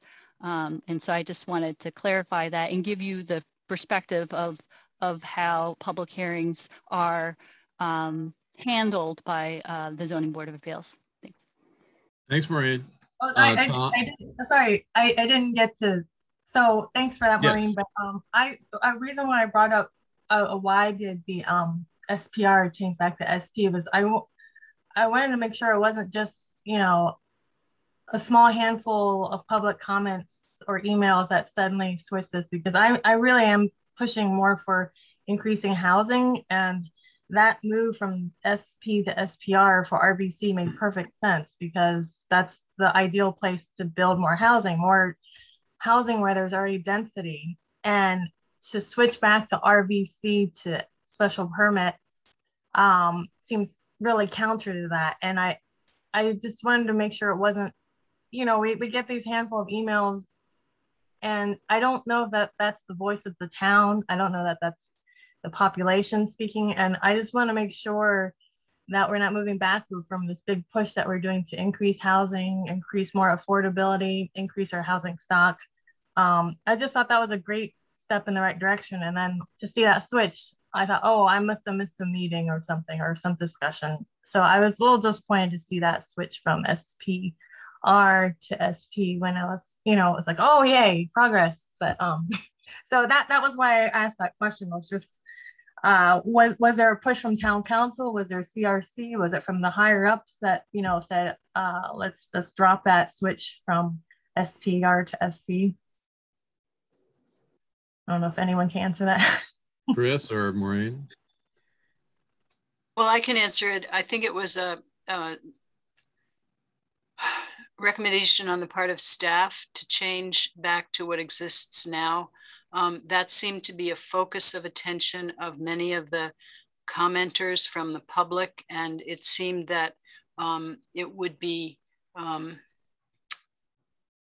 potentially wise to drop that one thing in order to um, have this bylaw as a whole be more acceptable to people. And um, I think, you know, we're really focused on developing apartments in the downtown and village centers, yes, but, um, you know, I think BVC uh, can also be a, a, focus of developing apartments. It doesn't have to be in the RVC, and RVC is close to farmland in some locations. So it just seemed like um, one uh, kind of thing that made people turn against this proposal. And if we could um, put that aside for now and maybe get back to it later, maybe that was a good strategy. Now, this is something that we're offering to you at this point, so the planning board can decide to change it back to, you know, if the planning board decides to keep the proposal to allow these apartments by our by a site plan review in the RVC zone, that's something that would be your prerogative, but we're suggesting that it go back to being special permit. In other words, don't make a change to the RVC at this time, but you may wish to make a change in the future.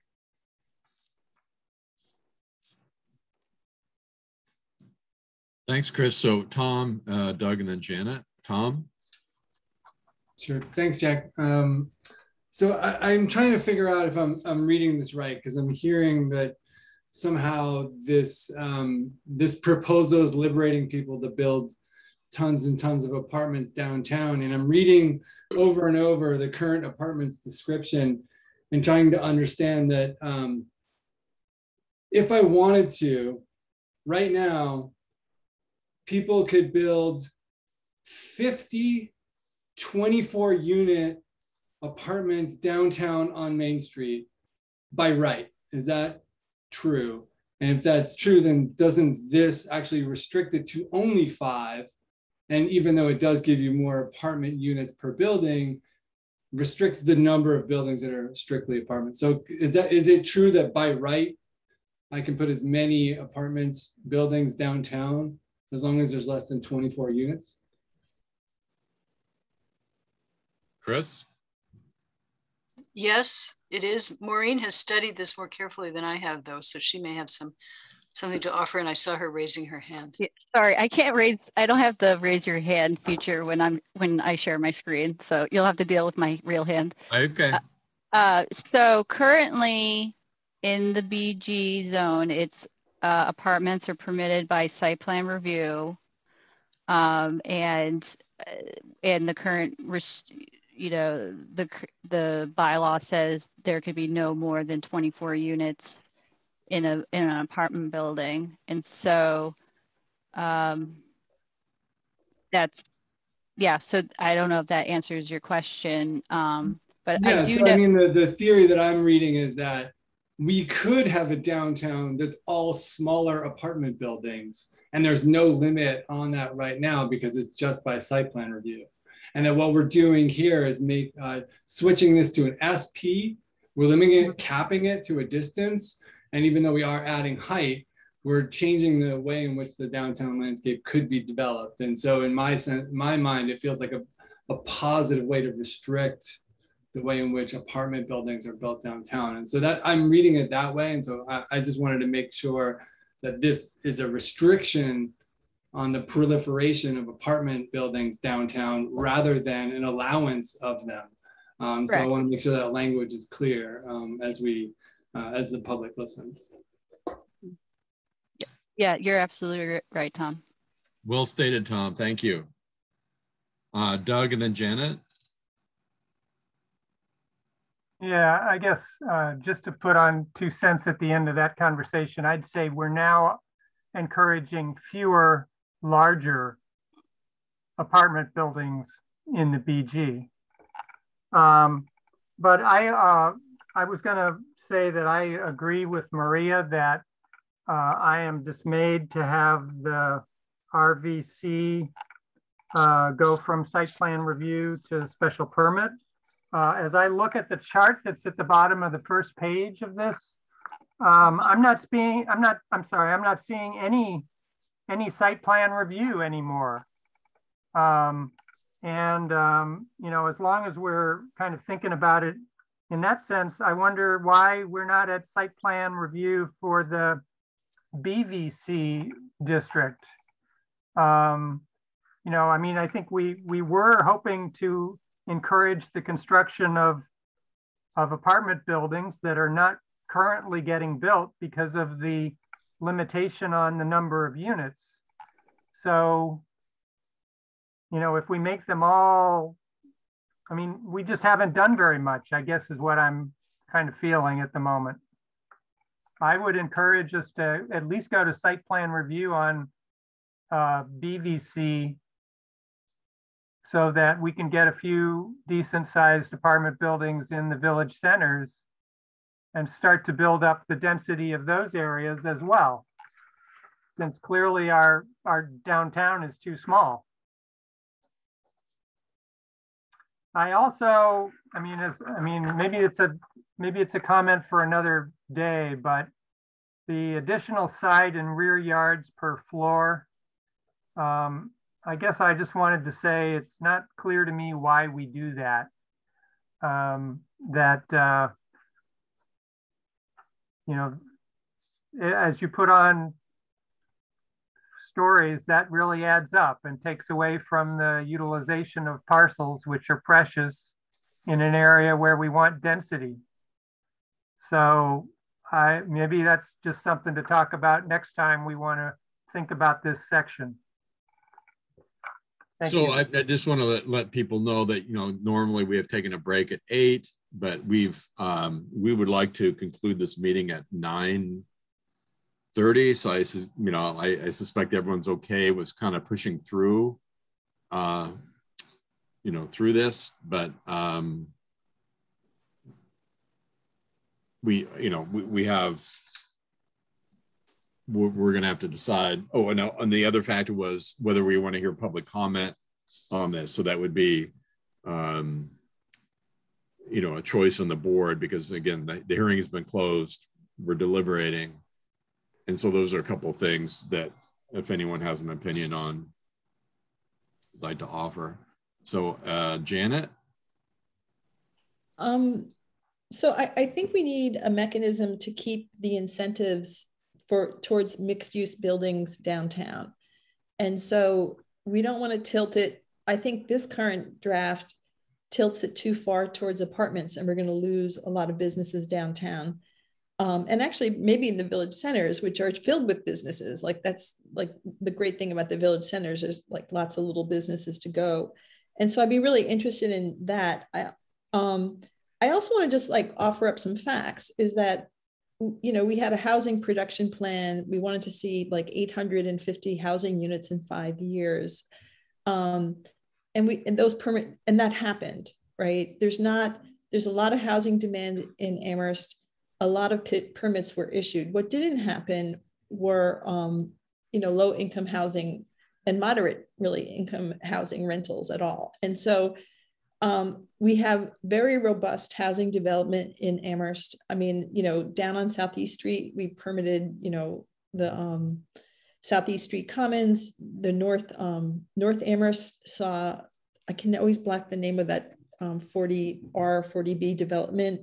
So those are a few hundred units. Um, University Drive had a, a thing built, and then there's something being built now. Downtown has several things that are permitted that have yet to be built. So we are, we are seeing with mixed use requirements, robust development of residential units. And so we're going to look at the next five years. And the problem, the problem I see with this is that we are lacking strict design guidelines. We're not protecting our streetscape and historic buildings. And, you know, I don't know how many people you need to sign a petition, but there's like at least 900 or 1,000 people in this town who are on board with increasing density, but not in without design guidelines and some protection of the small town nature, all of which are master plan goals. So I really think we need a mechanism to, you know, keep businesses on the first floor. And so I don't I just want to, um, so just, you know, so I, here's my question for Maureen is if, you know, with your current 500, and I understand the 500 foot thing is to try to keep um, people from tearing down buildings along the main streets and, you know, with all those businesses and replacing it with apartment buildings. I understand that. But even with your, um, your 500 foot thing, how many apartment buildings could go downtown, including the back of the lots or along the um, side streets? Because that, those are going to be very tempting areas for development of apartment buildings with unrestricted unit counts. And so, can you do that? And then, you know, what would be the difference between doing that and doing mixed use? I mean, I think there, you know, eventually there'd be less residential units with mixed use, but you'd have the benefit of keeping businesses or having space for new businesses. So like what's the maximum amount of apartment buildings that could go in under the scenario? And do you have a sense of the unit count of mixed use versus apartments?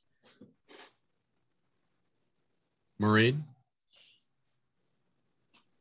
Um, yes. Uh, so I did actually do um, an estimate of how many uh, parcels could uh, be provided um, that don't face one of the, the main corridors and um, it would be approximately five or seven properties and um, I can point to some of them. So, uh, you know, this property, sorry, let me make this bigger if this is helpful.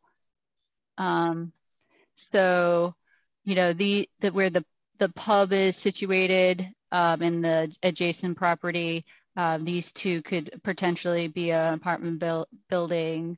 Um, this back here could be an apartment building. Um, these um, these could potentially. Um, I just so you know, like this hatching is just this has no meaning in like you know a mixed use building probably would go further back here.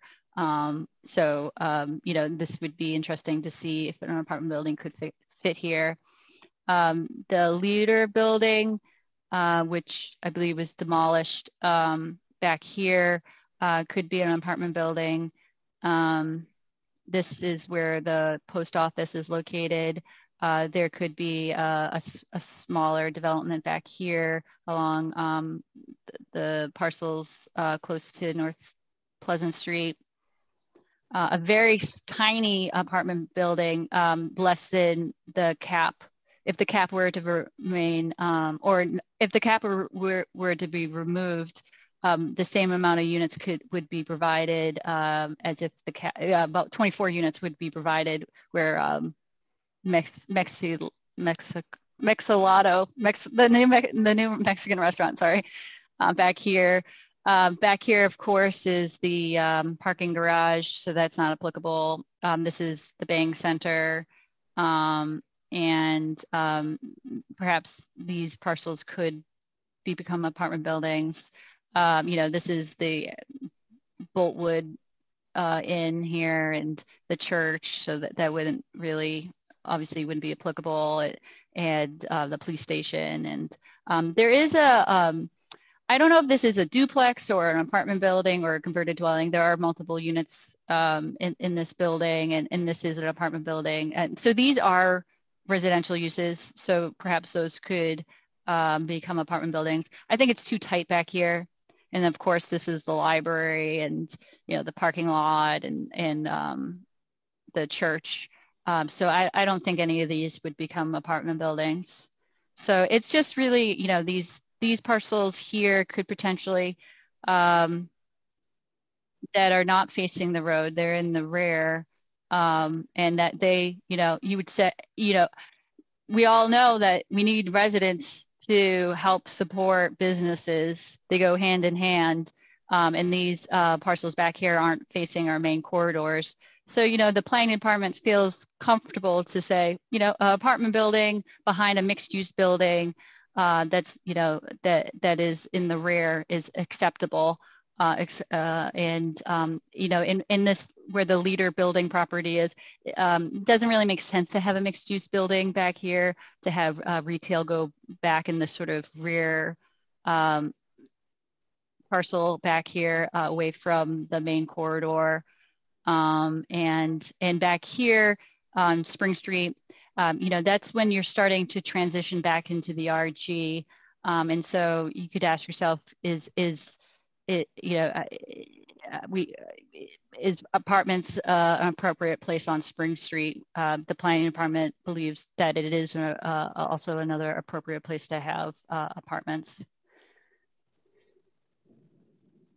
So, Thank you for those, Maureen. I think you know you you you you're convincing to me anyway are, with regard to this plan. So, um, but, there, but there are businesses on those streets now that would be eliminated, and you might not think it's a good spot for a business, but there's lots of businesses that are kind of off the street, like the by the Amherst Cinema has a ton of small businesses that you walk to. It's actually super interesting to walk down that street, you know. So Amherst Cinema is, is is back here. Yeah, I don't think that you know, I don't think there's enough lot area to to put a, a, a additional building back here, uh, to be perfectly honest. Um, and so with this, you know, besides this one, you know, if, if you meet the sort of buffer, um, so, you know, that apartment building would be, you know, would be larger and that would be, that would be it. I don't, I don't think you're going to have, I don't think you're going to have a mixed use building and an apartment building in this little tiny section here, to be perfectly honest. Great. All right. Well, thank you, Maureen, uh, Janet, uh, Andrew. Thanks, Jack. Try to keep it brief. I don't know that, I mean, from what I'm hearing, we all would like to make sure that we can bring in additional residential density, but I don't know that anybody is interested in having apartment on ground floor. Um, why don't we just say no apartments, no new apartments confront Amity, Main, South Pleasant, or North Pleasant? And then just let the, you know, let developers figure out how they can get density in either through mixed use building or some type type of creative multiple building scenario where they have a, you know, some type of commercial upfront and a standalone apartment building behind it. I, I, from what I'm hearing, and I would I would agree with this, I think that's really what we're trying to accomplish. Keep that street front vibrant. Maybe we can just make it really simple. Thanks. Thank you, Andrew. Any comment, Doug? I think what we have before us substantially limits the number of apartments, especially in light of the Zoning Board of Appeals having to issue a special permit for them in the BG. Um, I, I, I so I'm fine with this as, as proposed right now. Yeah, I, I, I agree, Doug. Um, so I think um, the, the, the things that I've heard is like, do, do we want to modify the, the, the, the village district with regard to what Doug had mentioned before? And then do we want to hear public comment? Um, at all um, since the hearing is closed. Um, don't know the general sentiment of the board on those on those issues. So, um, Andrew. I don't want to pile on on my last comment, so apologies for this, but I think it's we can. I, I think Jenna makes a, a really good point, right? Like we can just say no to all of them, but if if none of us want apartment there anyway, why not just close the door now? And and why why not? I mean, why why let other planning boards make that decision? So um, I understand either mechanism will probably have the same same outcome, but if none of us really thinks that we want apartments on ground floor, then then we can be pretty definitive about it um, by by tweaking this. Thanks. Doug. Yeah, I guess I I don't I can imagine that a couple of apartment buildings downtown would be okay. And that's certainly the limit is, you know, not more than the several that uh, Maureen had had sketched out there. So it's it's not doesn't seem like a, a, a huge uh, loss. And you know, again, we we we've got housing issues in the town that we want to resolve. Um, what about the, um, oh, Janet, you have your hand up. I'm not sure if I said this earlier, but there's there's no reason why um, the property owners wouldn't take the buildings that are along those main streets. And some of them are very low and just put up apartment buildings. And even you know the older buildings that we all like there's no protection of those. And those can be taken down. So um, I, am you know I'm, I'm with andrew I, I, think it's a decent compromise um, i would like to see a cap on the units you know on the on the units behind i just think you should think about like what how many cats will jump out of that bag and you'll be surprised um, and I do support having more people living downtown, but I just think we need to keep the balance and keep spaces.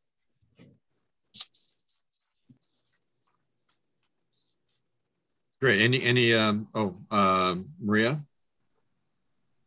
Uh, I just want to reiterate that fact that Tom brought up earlier, which is this is actually making it more restrictive as far as putting more apartments downtown because it's now a special permit.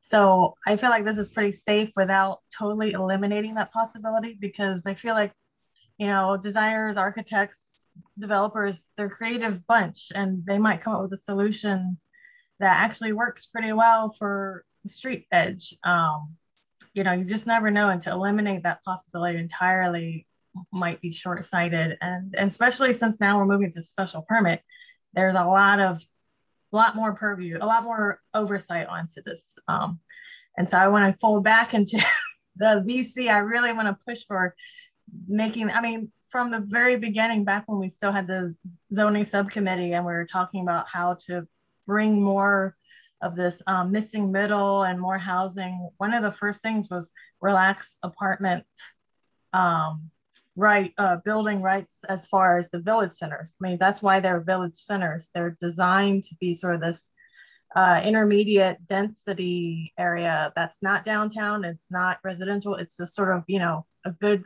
balance between the two, and that's the perfect place for apartments. And so, uh, you know, relaxing apartment, uh, um, what do you call it? The, the uses, the, the zones that allow more apartments was um, sort of like low hanging fruit in my mind. And so that's my one last push is, you know, I appreciate this really careful study of the downtown, but I do think that VC, both RVC and BVC, I don't know, I can't even find where BVC is. I think there's only a few places, but um, it just, that's my last push is, um, uh, yeah, to, to sort of relax the apartments in that area. But, um, but as far as the downtown, I, I feel like it's very safe now. It's in fact more difficult than in the past, like Tom had pointed out. So um, I'm fine with that as written. Um, I guess another question is for Chris is, are we going beyond the original written uh, version that was already sort of closed as far as the public hearing? I mean, is this still in the same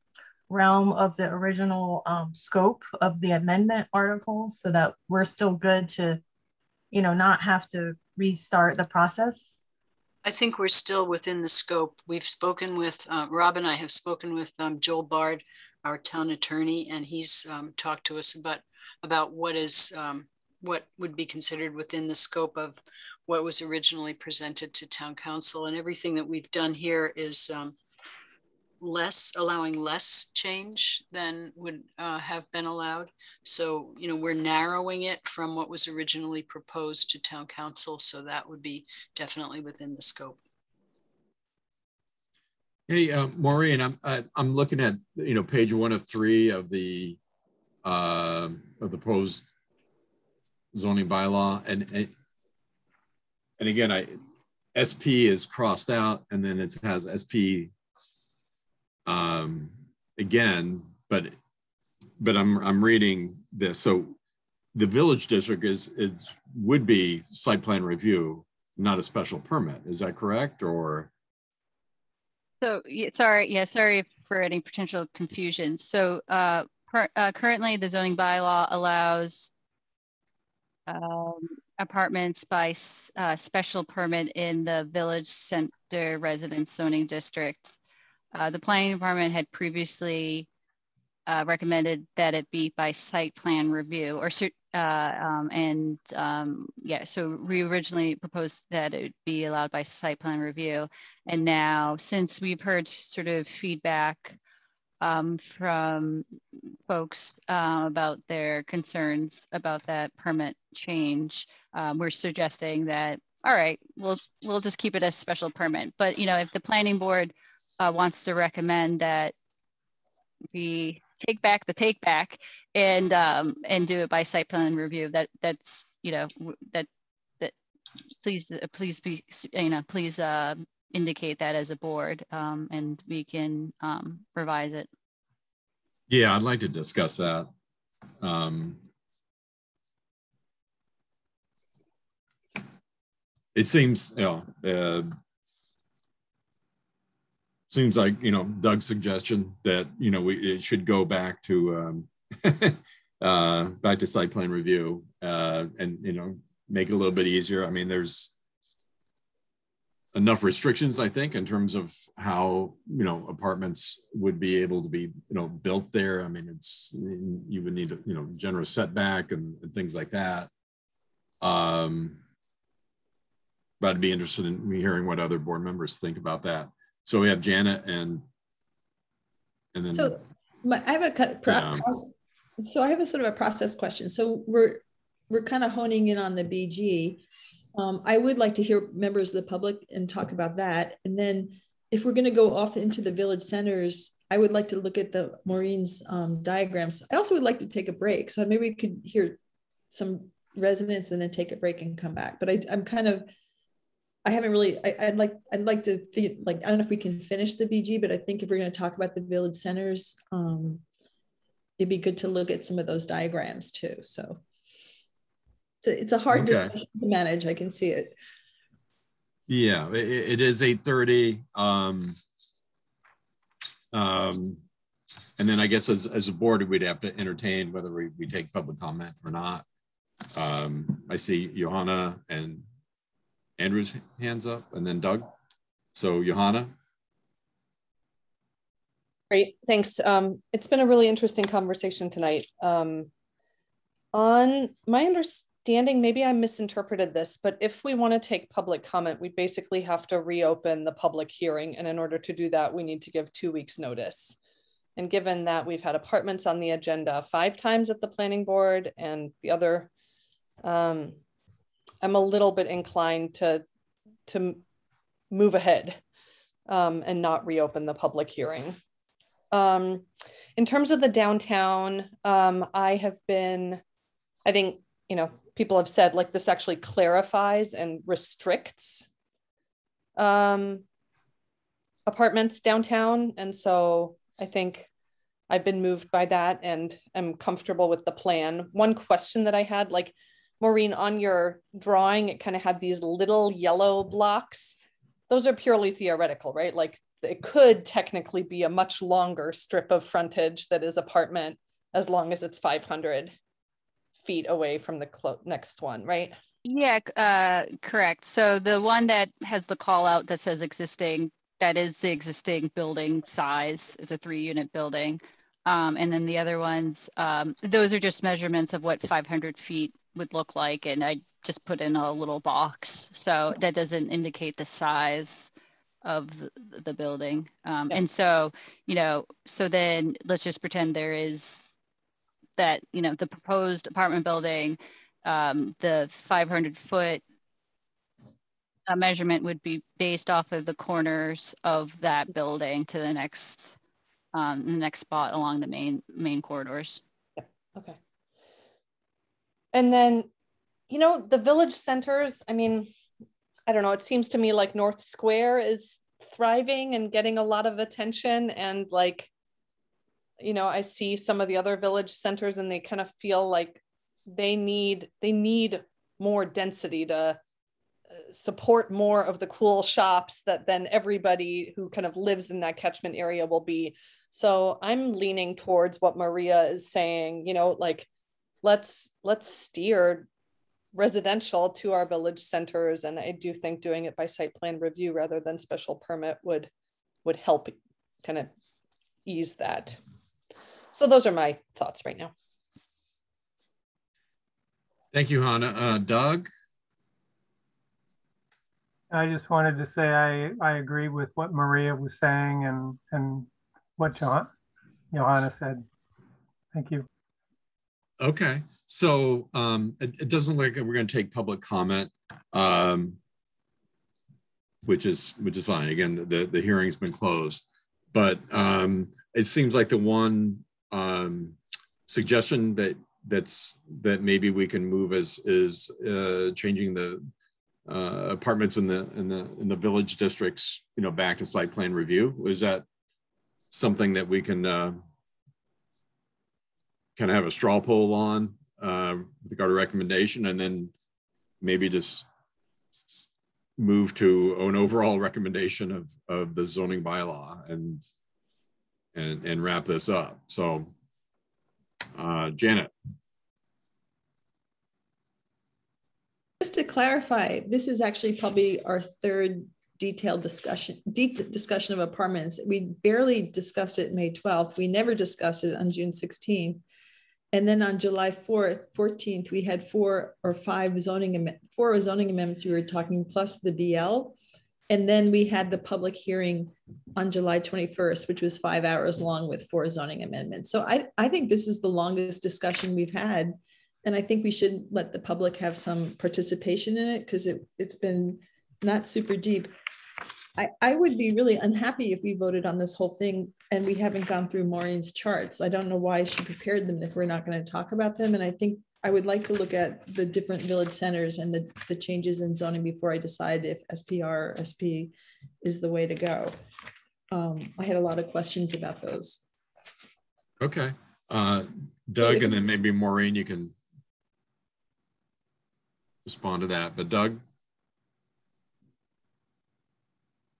Well, it sounded, Jack, like you were ready for some sort of motion. So I guess I'll put out the motion that we adopt this or recommend of town council that this this proposed change be adopted with the one revision that the RVC stay at site plan review. And we can either move that forward or not. Sounds good. Is there someone that wants to second that? And then we can have a discussion. Maria? Second. Okay. So, um, uh, Maureen, what um, what can you present to us for the village centers uh, with regard to what Janet was referring to?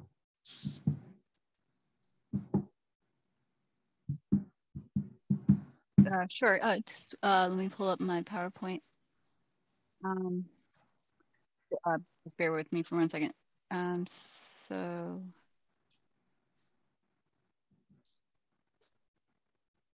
Can folks see my screen? Yeah. Okay, so um, uh, I believe um, you would wanted to um, see the slides related to the um, uh, RVC, the residents, uh, the village uh, residents village center, and the BVC, the business village center. So um, I'm, we're gonna, I'll show you um, the North Amherst um, area that includes both the RVC and the BVC. Um, so this is the intersection of um, North Pleasant and uh, Route 63, which is Meadow Street, then which then turns into Pine Street. Um, and just as some landmarks uh, to orient you, um, this little triangle here uh, is the North Library, Amherst Library.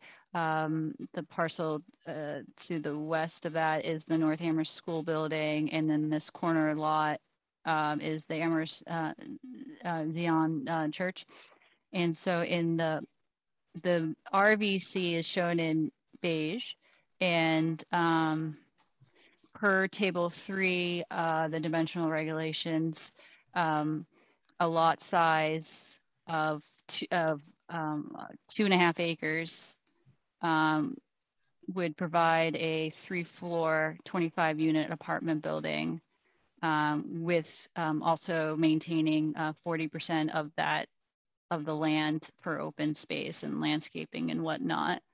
Um, there is only one parcel within this focus area that it, it is um, more than um, two and a half acres um, that could provide um, um, that would benefit from the the cap being removed And that's this parcel right here, which currently has 48 uh, units on, on that site. Um, so, you know, maybe uh, I would, so theoretically, they could add a couple more on this property. It's very unlikely, if not impossible, since um, there, um, it is adjacent to the Mill River and so it, with its associated wetlands. Um, and so I, I, which so then that would limit the amount of developable land and whatnot. Um, so that is very uh, unlikely that that would be developed or redeveloped or expanded upon. And then I wanted to, uh, to show, um, you know, there are um, a lot of smaller parcels. And so I wanted to um, see how many units could be provided um, along Meadow Street. Um, so I looked at the parcels that you can see the arrow. So the parcels between here and here. Um, I added up the lot area for all those parcels, which get you um, 206,000 square feet. That's probably mm, four, five acres. I, I don't know off the top of my head. Um, and so with that, um, you could provide 48 units um, that would be on in a within a three floor building um, and uh, they again you would the, the the applicant would need to maintain uh, 40% uh, for open space so I, I would envision a sort of long you know you could envision maybe two buildings or maybe a long um, sort of narrow building. Um, think of like maybe brownstones or something like that, where there's, um, you know, uh, gracious front yard, and then there'd probably be a driveway that goes back here. They would have parking behind the um, apartment building, and then maybe a, a driveway coming back out. Um, to add to that, you know, these parcels, um, the acquisition of these parcels, you know, you could go on Zillow today and see how much are, do these parcels cost to buy? Mm, probably 300, $500,000 each. Um, and so adding all that up, that's that's a chunk of change right there. And um, the uh, construction cost, um, you know, it costs somewhere between four and nine million dollars um, to build a, you know, a 48 unit building uh, development.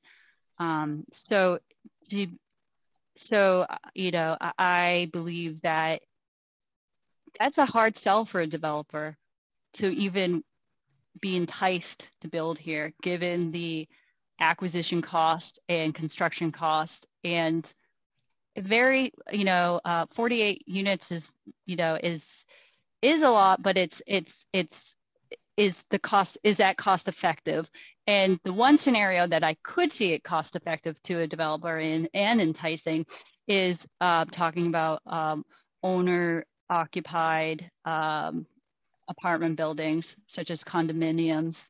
Um, and so perhaps in that market, that would actually be feasible instead of a, a rental market. Um, and uh, I believe, and I believe the planning department uh, also believes that that would fit nicely in a in a down in a village center um, when you think in terms of the need for owner occupied uh, rent uh, owner occupied dwelling units um, and so, okay, so we talked about the RVC. Now I'll go to the next slide, which is the BVC, which is shown in the hatching, the red hatching. And so per the table three dimensional regulations, um, there is no lot area and additional lot area required um, for the BVC. And so um, the numbers of, the amount of units allowed if the cap were was removed um, is um, increased. Um, and so a lot size of 25,000 square feet or 0.6 acres could provide a three floor, 25 unit apartment building with uh, dedicating 30% of the total lot area for open space and landscaping and whatnot. Um, a lot size of um, we'll say 100,000 square feet or 2.3 acres could provide a three floor, 93 unit apartment building with uh, providing 30% of um, open space. Um, there are four parcels that are uh, equal to or greater than 25,000 square feet in size. Um, and so, um, so there is opportunity to provide um, apartment buildings um, in, in these locations that would benefit from the removal of um, the cap. And let's see here, this is the RVC. We, there's very limited amount of properties that would benefit from the removal of the cap. Um, and those are shown in red, which is the existing Aspen Chase apartments. Um, and the yellow parcels uh, would also benefit. Um, and so again, so Aspen Chase, um, it's an existing apartment building. Um, I it it looks and feels that they're maxed out. Maybe they could add a couple more. I, to be honest, I don't know how many apartment uh, apartment uh, units are there, but um, this yellow parcel here is the Salem Place condos. This yellow parcel is the East Amherst Village apartments. Um, I can't recall what's here. And um, this is currently, I believe, being developed uh, with a couple um, single family homes. I think that's uh, uh, is uh, currently being um, constructed. And then zoning at me, so at zoning um, at Main. Um, um yep. Let me uh, just pause a minute. Uh, Janet, you have your hand up. Thank you. Um, could we go back to the um, North Amherst one? Because it, um, so I have a question. I have two questions. One of them is um, with the um, BVC, um, if you added another story, you could add more units, right?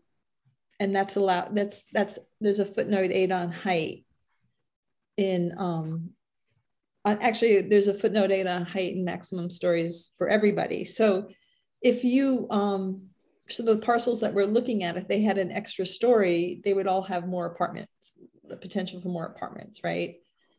And then so that's that's first question. The second question is, I keep on wondering, like, you know, what how many units could you build as an apartment without a cap given you know the various dimensional tables and the many waivers versus mixed use like how many like you know like when i'm looking at the parcel i think you have a 78 or you know, the one that's in um, north amherst and it's mostly a little commercial strip where i've eaten many pizzas if the incentive there is to take that building down and put apartments in or combine lots wouldn't it be you know like i still think it'd be better to have mixed use because you keep the businesses there, you get a ton of rental units. And so like, what's the difference? Like, so if I took, you know, if I combined, you know, the two point, you know, a lot size of nine point, you know, 99, 643, the 2.3 acres, if I put that together um, and I, how many units could I build? What if I added another story? But what if I was doing a mixed use building there at three stories or four stories? what's the real difference except that I've lost, you know, with the apartment buildings, I've lost businesses. Can you, I mean, do you understand what I'm asking you? It's like, what, what, what do you get that you couldn't just get through a mixed building? Like how many more units by the apartments thing? Because again, these are all village centers. They're all focusing on a mix of businesses and keeping them vibrant. Yeah, Maureen. Uh, well, perhaps Chris or Rob could weigh in about the footnote A comment about the building, the floor, um, maximum amount of floors. Um, but, you know, uh, I mean, the, uh, but to answer your other question, I mean, the obvious difference is, uh, you know, is there, you know, non-residential use on the first floor versus, um, for, you know, or is there not you know um, that that would be the the difference between the two uses? Um, and again like 10, 10, more units oh how many more, more, units? Um uh, let's see here. Um hmm. Uh oh i wish i had my i wish i had my calculations in front of me. Um um me so um uh yeah pro you know i would say my guesstimate we're talking probably a difference of uh, 10 to 20 units uh, um, that you know if if the, the first floor was uh, all residential, then it, it would probably be, you know, 10, 20 units. Um, and then if that was a mixed use building, then that would be non-residential. Chris? Depends on how big the building is. This first example that you have of 25,000 square feet, a three, three floor, 25 unit apartment building would assume that you'd have like seven or eight units on each floor, right? uh, eight, I guess, isn't eight times three, 24. Anyway, so you would have eight um, units on a floor. So you would add um, eight, you would subtract eight units if the ground floor units went away. And you, then you'd only have 16 units. And I think that's right. I think that's how you would figure it out. You just figure out how many units do you have on a floor and you subtract the ground floor and then you get the number of units that you would have in a mixed use building. Well, I was I giving, would, I was giving the 40%. You remember that we did, we, you know, there's like, you're only keeping 40% for the businesses on the first floor. I see. Yeah. So it's, you know, so it's a couple, you know, maybe it's, you know, you lose three out of a 25 unit building, maybe on a 93 unit building, you lose 10. Mm-hmm. You keep the and, businesses. And just to keep in mind, in this, uh, this added a whole other layer to my these build outs where the build outs are reflected in the circles of my estimate is that to keep with uh, the proposal of uh, having a diverse mix of build, building counts for apartment buildings um, um, there there is a mix of different uh, unit types so in all of these there's you know single uh, one bedroom units, two bedroom units, three bedroom units, and and and uh, um, some studios. So I, I really tried to diversify uh, the mix of bedrooms, um, and so with that, the unit size um, changes, you know, a little bit, you know, dependent on the, the amount of bedrooms. So um, I just wanted to clarify that. Thanks, Maureen. Um, yeah, you, you can proceed with your. Okay, sure. Okay, so then moving on to, oh yeah, we talked about the RG zoning districts at Main and Triangle. Okay, so we're going to look at the, this slide looks at the neighborhood business zoning district, which is in, uh, reflected in, in purple dots. And um, due to, uh, per the table three dimensional regulations and the floor area ratio requirements for the BN, um, you would need a two acre lot to provide a two floor, 25 unit apartment building with 40% uh, of um, open, 40% uh, of the total lot area for open space. None of these parcels are large enough to provide a 25 unit apartment building. Um, and here, um, this is the BL zoning district. There's only three, three parcels. It, uh, they're located along uh, the corner of Dickinson and College Street. The O'Connell lot is located right at the corner. Um, none of these parcels are large enough to provide a 25 plus apartment building. Um, this is the BVC zoning district located at the corner of Dickinson and Main Street. Um, and this is where Triangle Street is right here. And then this parcel right here is um, Elements Hot Tub, just to give you another landmark. Um, there are only, uh, I'm not gonna go through all these bullets, um, but th this last, I'm gonna try to try to, to speed this along, just focus on this last bullet because that is sometimes the summary of the slide. So there's only two parcels um, that are large enough to provide um, a three uh, floor uh, um, are large enough to benefit from the capping removed. Um, and so those two parcels are, is this parcel here and this back parcel here. Um, this is owned, I think, by the train station or Amtrak or, or whatever um, train people. And um, and th so this, so I, I would say this is probably unlikely to be developed. So perhaps this spot back lot right here could benefit from the um, cap removal. Um, and then zoning districts at College Street, South East Street, and Main Street. So in beige, oh, and so again, um, let's see here. So this is College Street along here. Uh, this is Southeast Street, which then connects you to Main Street right here. And RVC um, is reflected in um, the beige color. Um, there are three parcels that are um, uh, e equal to or greater to, greater to 2.5 acres. Um, and that is the, the threshold to um, provide 25 units or more. And um, those three parcels include the Fort River School, uh, the Watson Farms apartment, which is owned and managed by the Amherst Housing Authority, I believe, and um, the town of Amherst property right here. Um, and so those are the um, only um, parcels that could uh, benefit from the cap being removed. The other parcels are just just too small. Um, uh, this is um, this slide focuses on the BVC, which is represented in the sort of red pink hatching. Um, and to, let's see here, there are seven parcels that are equal to or greater than um, 25,000 square feet in, in size. Um, and so those parcels, which I'll um, wave my little mouse, um, those parcels include this one, this one, let's see here. Hold on. Uh, this one.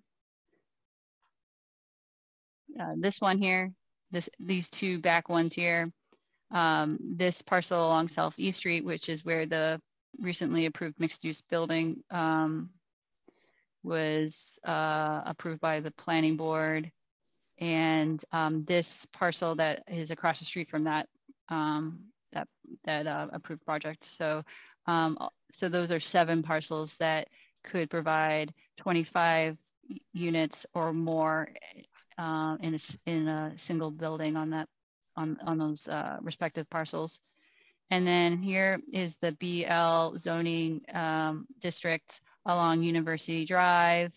Um, here, this street uh, here is Amity Street, and the street along here is University Drive.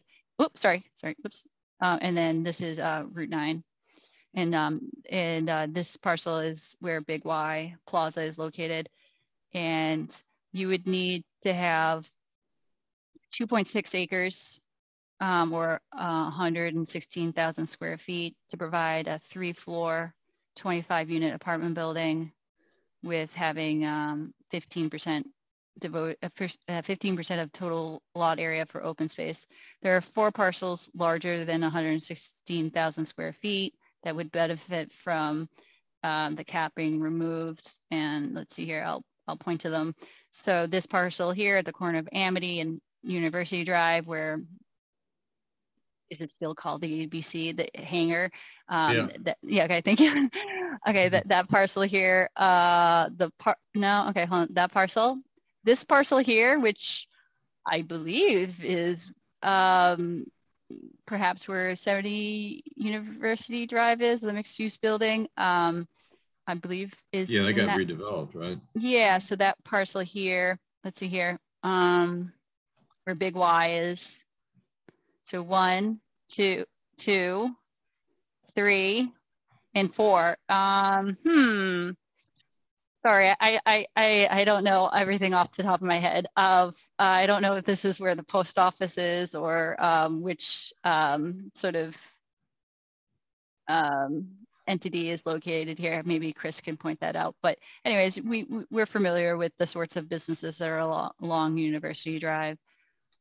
Um, and then here is the zoning district at Pomeroy Village.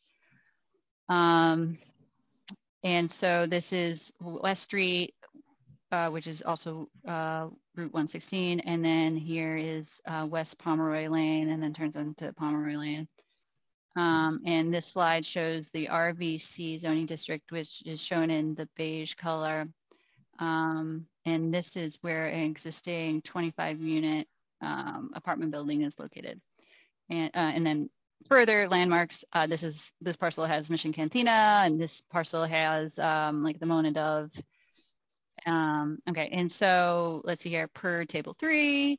Uh, you would need to have a parcel of 111,000 square feet or 2.5 acres to provide a three floor, 25 unit apartment building with having 40% um, of the lot area for open space. And um, there's only one parcel that is equal to or greater to, uh, than uh, 111,000 square feet. And that is the where that uh, existing 25 unit um, apartment building is located, which is owned and uh, ma managed by the Amherst Housing Authority. Um, and so um, they couldn't even expand it because that that is the that is the amount that they could provide. They have 25 and they only could provide 25 because of the table three dimensional re regulations. And then this um, slide shows the BVC, which is reflected in the red hatching. And uh, you would need to have, um, uh, you know, 25,000 square feet to benefit from having a three floor, 25 unit apartment building. And then you would need uh, upwards to 100,000 square feet for a, a three floor, 93 unit apartment building. There are nine parcels equal to or greater than 25,000 square feet that could um, have a three floor uh, apartment building with 25 or more units. So nine parcels I had mentioned. So um, and Chris may, may need to chime in here. Um, so this is, uh, this parcel would, um, could have 25 units or more, um, which is already developed. Um, and this parcel here, uh, which is already developed, um, this parcel is, I believe, um, you know, um, you know, these two parcels here, this one and this one could benefit um, from the uh, cap removal. Um, and so one, two, three, four, oh, and then this parcel here, this little back parcel here, this parcel here, this parcel here where um, the gas station is, and this parcel. Um, and so, um,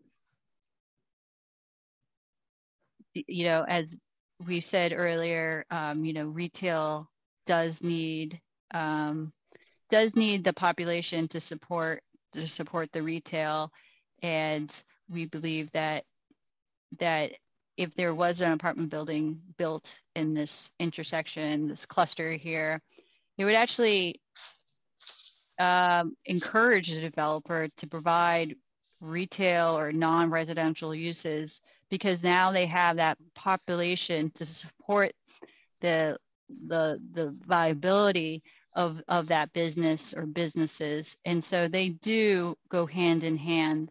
And these uh, you know these village centers um, are places where we want to encourage you know both residential and non-residential. And as I just said, they go hand in hand. Um, this uh, zoning district, which is the BVC, is um, at the corner of West Street and West Bay Street, West the West Bay Street, and this is where Atkins um, Farm Market is located. Um, these two parcels back here um, could um, benefit from the cap removal. Again, as I just said in the previous slide, uh, you know, uh, retail and residential go hand in hand. Um, where where if you uh, have a population um, that would um, support uh, more retail and or you know in general uh, non-residential um, and would make it uh, enticing um, for a developer um, for e for either of the uses. and so zoning along Belchertown Road um, this is uh, Route 9 or Belchertown Road, and this is uh, Gatehouse Road. And the existing use here is um, the Amherst Insurance Agency.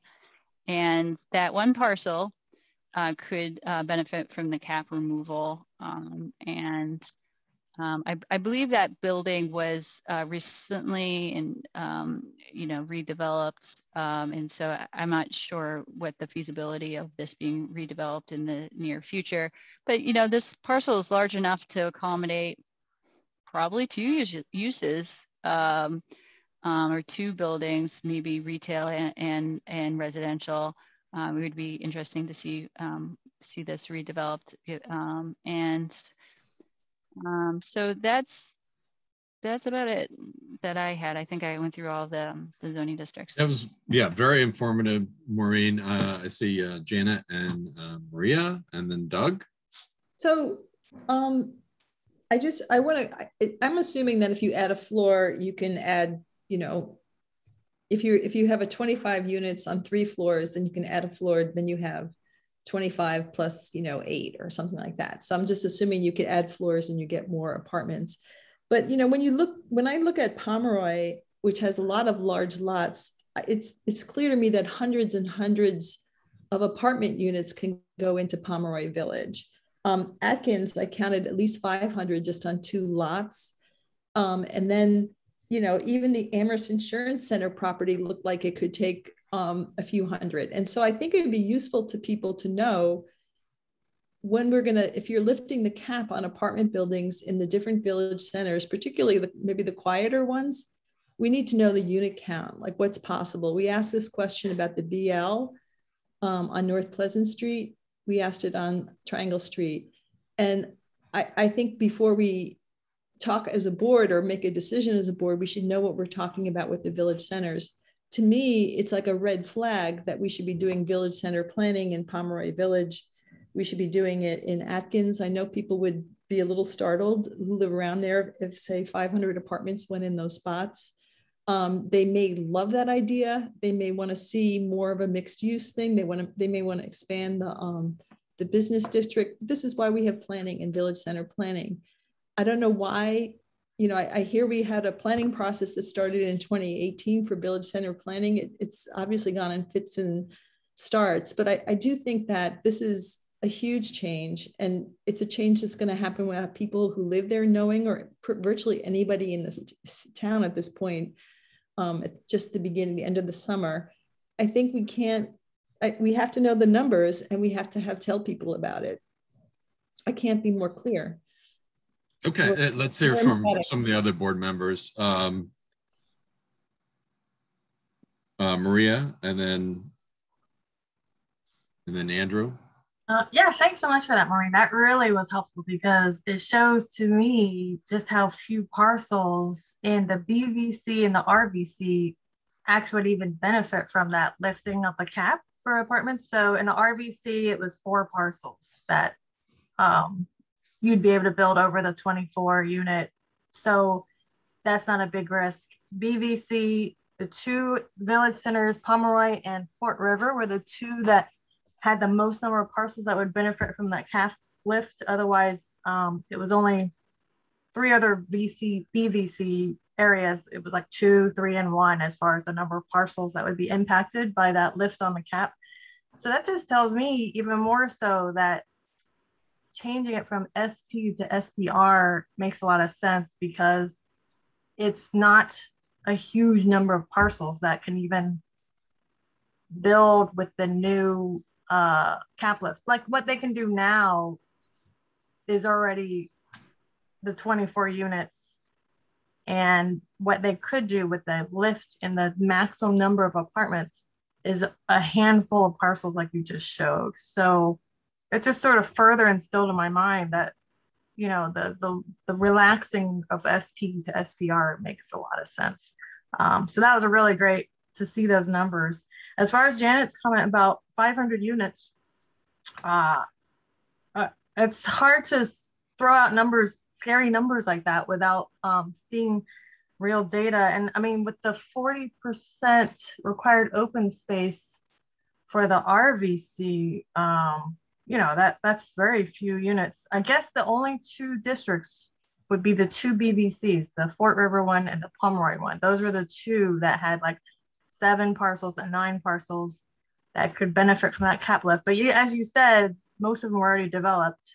Um, there was only a couple I saw that were like empty lots right now. So again, the risk seems very low relative to what's already allowable. Um, so I, I, I mean, your sort of presentation kind of really set my mind. Like I, I think it's just a very safe thing to do SP to SPR. Um, I know there'll be a lot of comments from emails and um, the same, you know, group that we keep getting these comments from, but I just want to make sure, you know, it, it's hard to gauge the whole town based on the few emails we get. So I, I just I hope you're not being sort of like um, pressured by a group versus like um, I mean, it has the CRC or town council weighed in, um, or are they just sort of following the recommendations of the planning board and the planning department?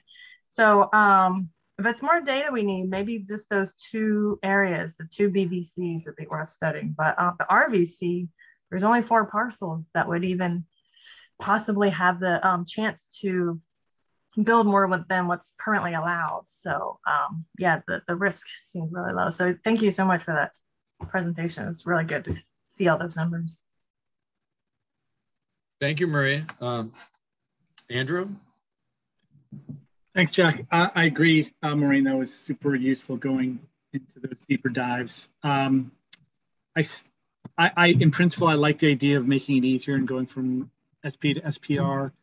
Um, I do I do agree with Janet though. I think like mixed use doesn't preclude us from adding residential, and I think any developer is going to do everything they can to maximize residential to offset having some some retail there. And as I looked at some of those areas, and I I couldn't keep track of uh, RVC versus BVC, but like Atkins would probably do great having some residential around it, right? It's got a phenomenal market.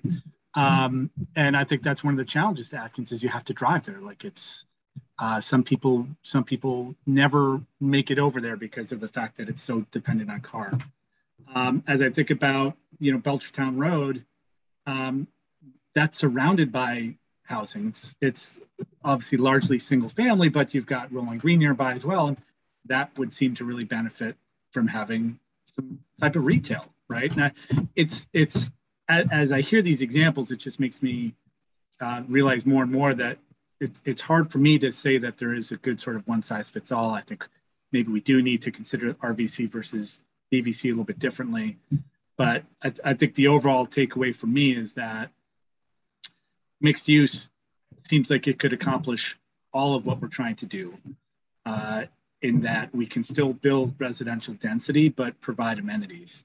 Um, you know, my my my mom lives near Shutesbury, and I just think of you know, just Shutesbury, like anyone who lives in Shutesbury's got to leave for everything, right? It's just, it's, and I would hate to think that we're adding more and more housing at the expense of, of something to actually go to. Um, and would just add to like my comments earlier, we're, we're very much focused on, on downtown, right? In, in terms of what I think would make sense. And, and, and that would be um, limiting apartments from fronting those, those major arterials. Uh, thanks. Thank you. Uh, Tom?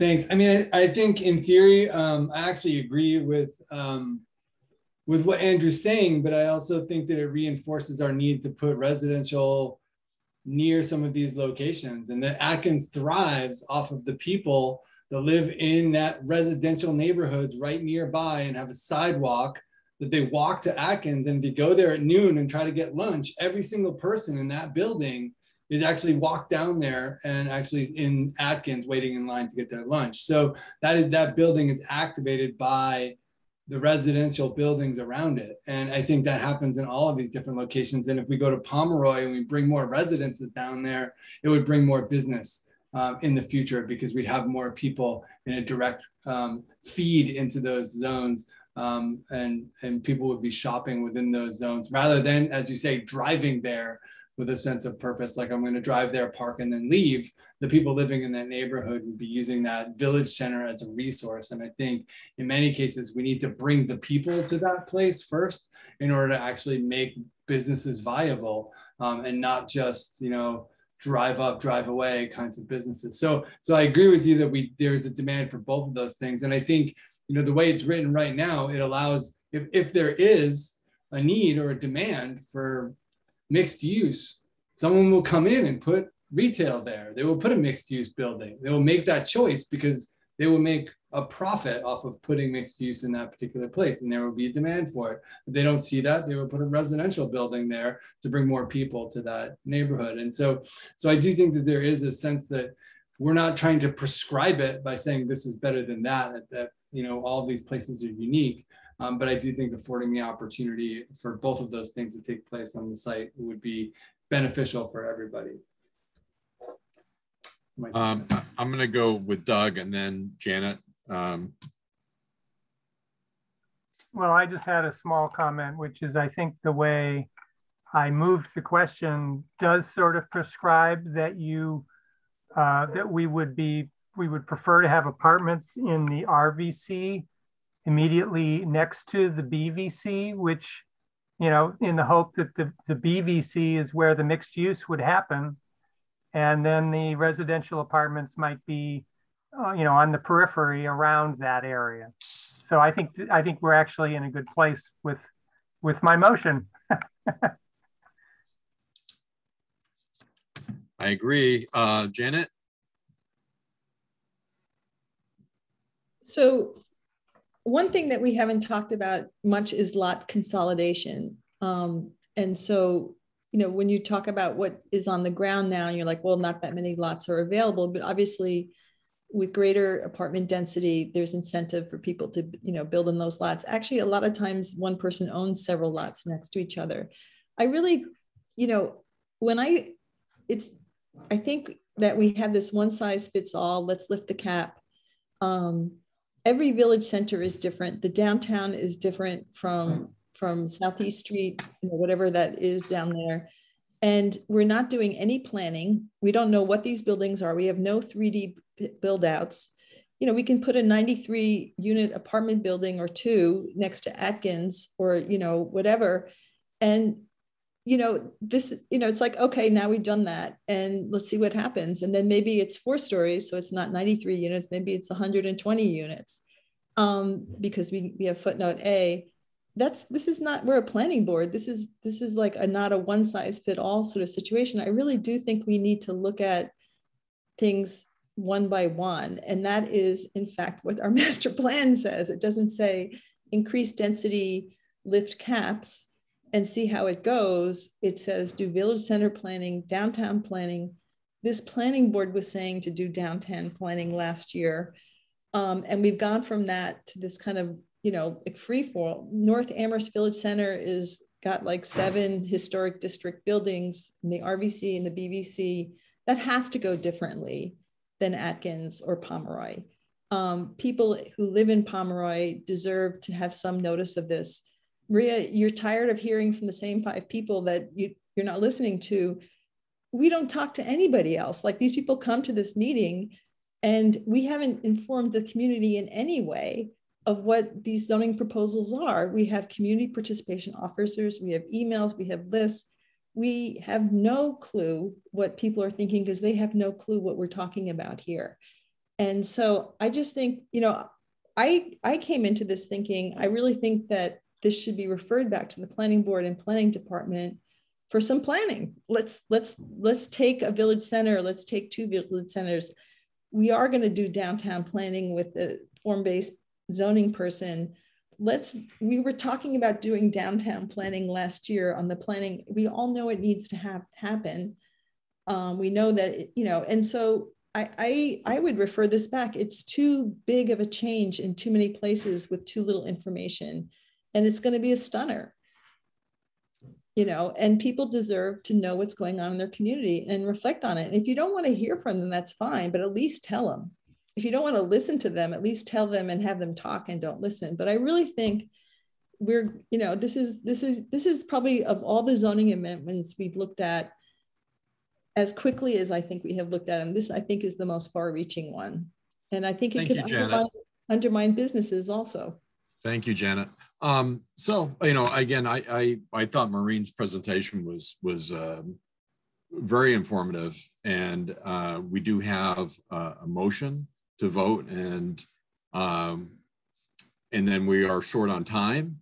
Uh, and now, you know, we're going to have to reschedule uh, some of the items on our agenda for other dates. But I'm wondering if um, at this point, um, we've heard, I think, again, from Maureen uh, that, you know, there's, it seems to be fairly limited in terms of what may happen and what may happen could be really good for the village centers. And um,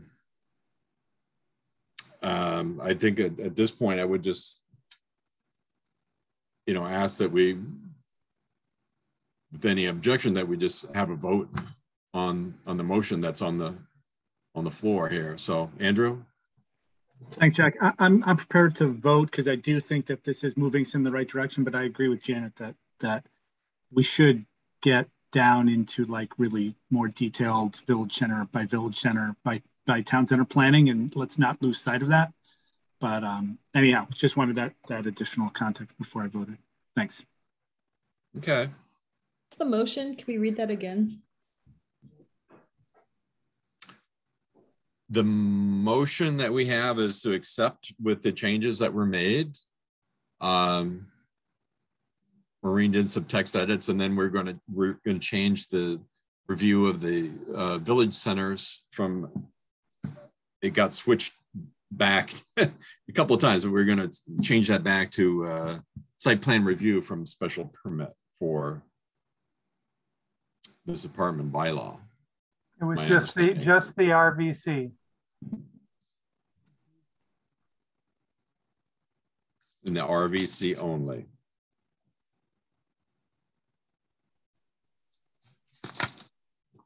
Any further discussion? All right, let's do a roll call then. Uh, Maria Approved. and Andrew, Aye. Doug, Aye. Tom, Aye. Janet, No.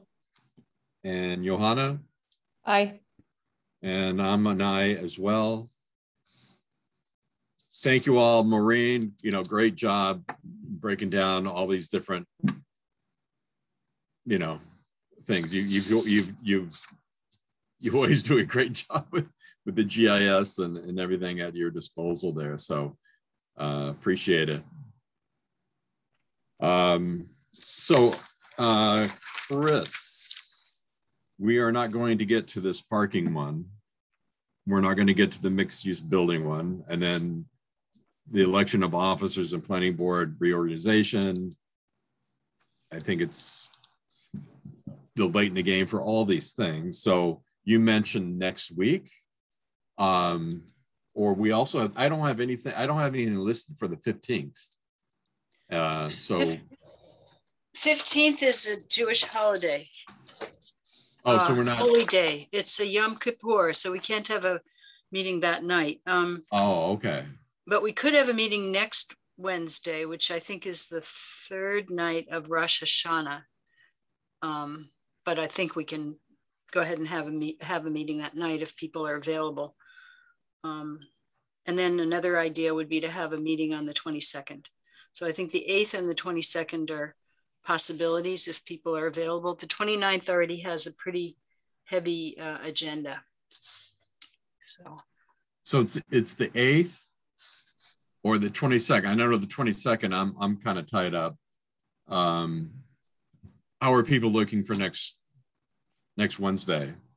I can't do either. I, I was looking forward not to meeting on the planning board every week. but I can't do it.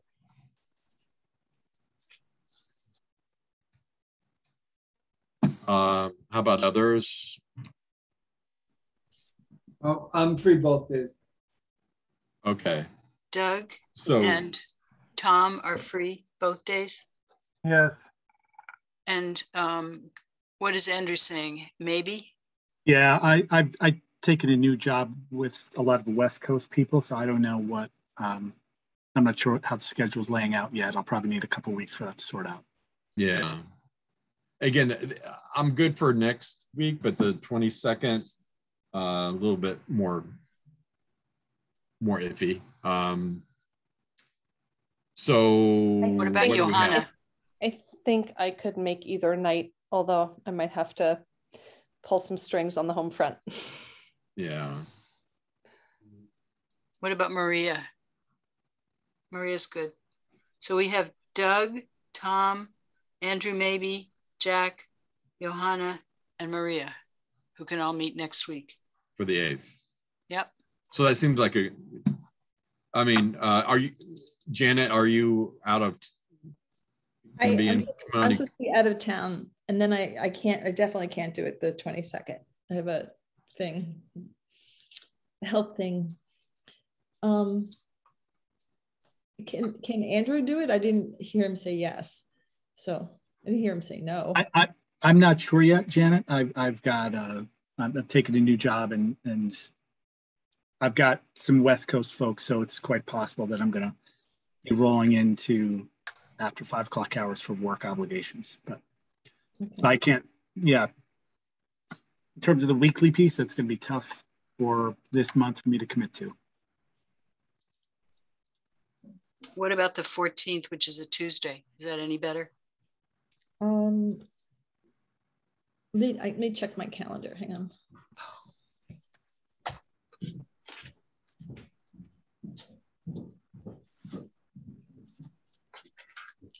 Well, it, normally I would have ag commission, but I that doesn't seem to be happening. Does Maureen have something on Tuesday the 14th? Uh, well, uh, not at 6.30. No, you have DAAC, so that's right. And, so. and we have the CRC meeting at two o'clock. And CRC at two. So the 14th would be a possibility if people want to try for that. Yeah. so Doug is yes. Jack is a yes. Johanna? We're talking Tuesday the 14th? Yep. Um, yes. And um, Janet? I could do the 14th. And um, Tom? Yes, Tom is yes. And who else do we have? Um, Maria? Maria's yes. And Andrew?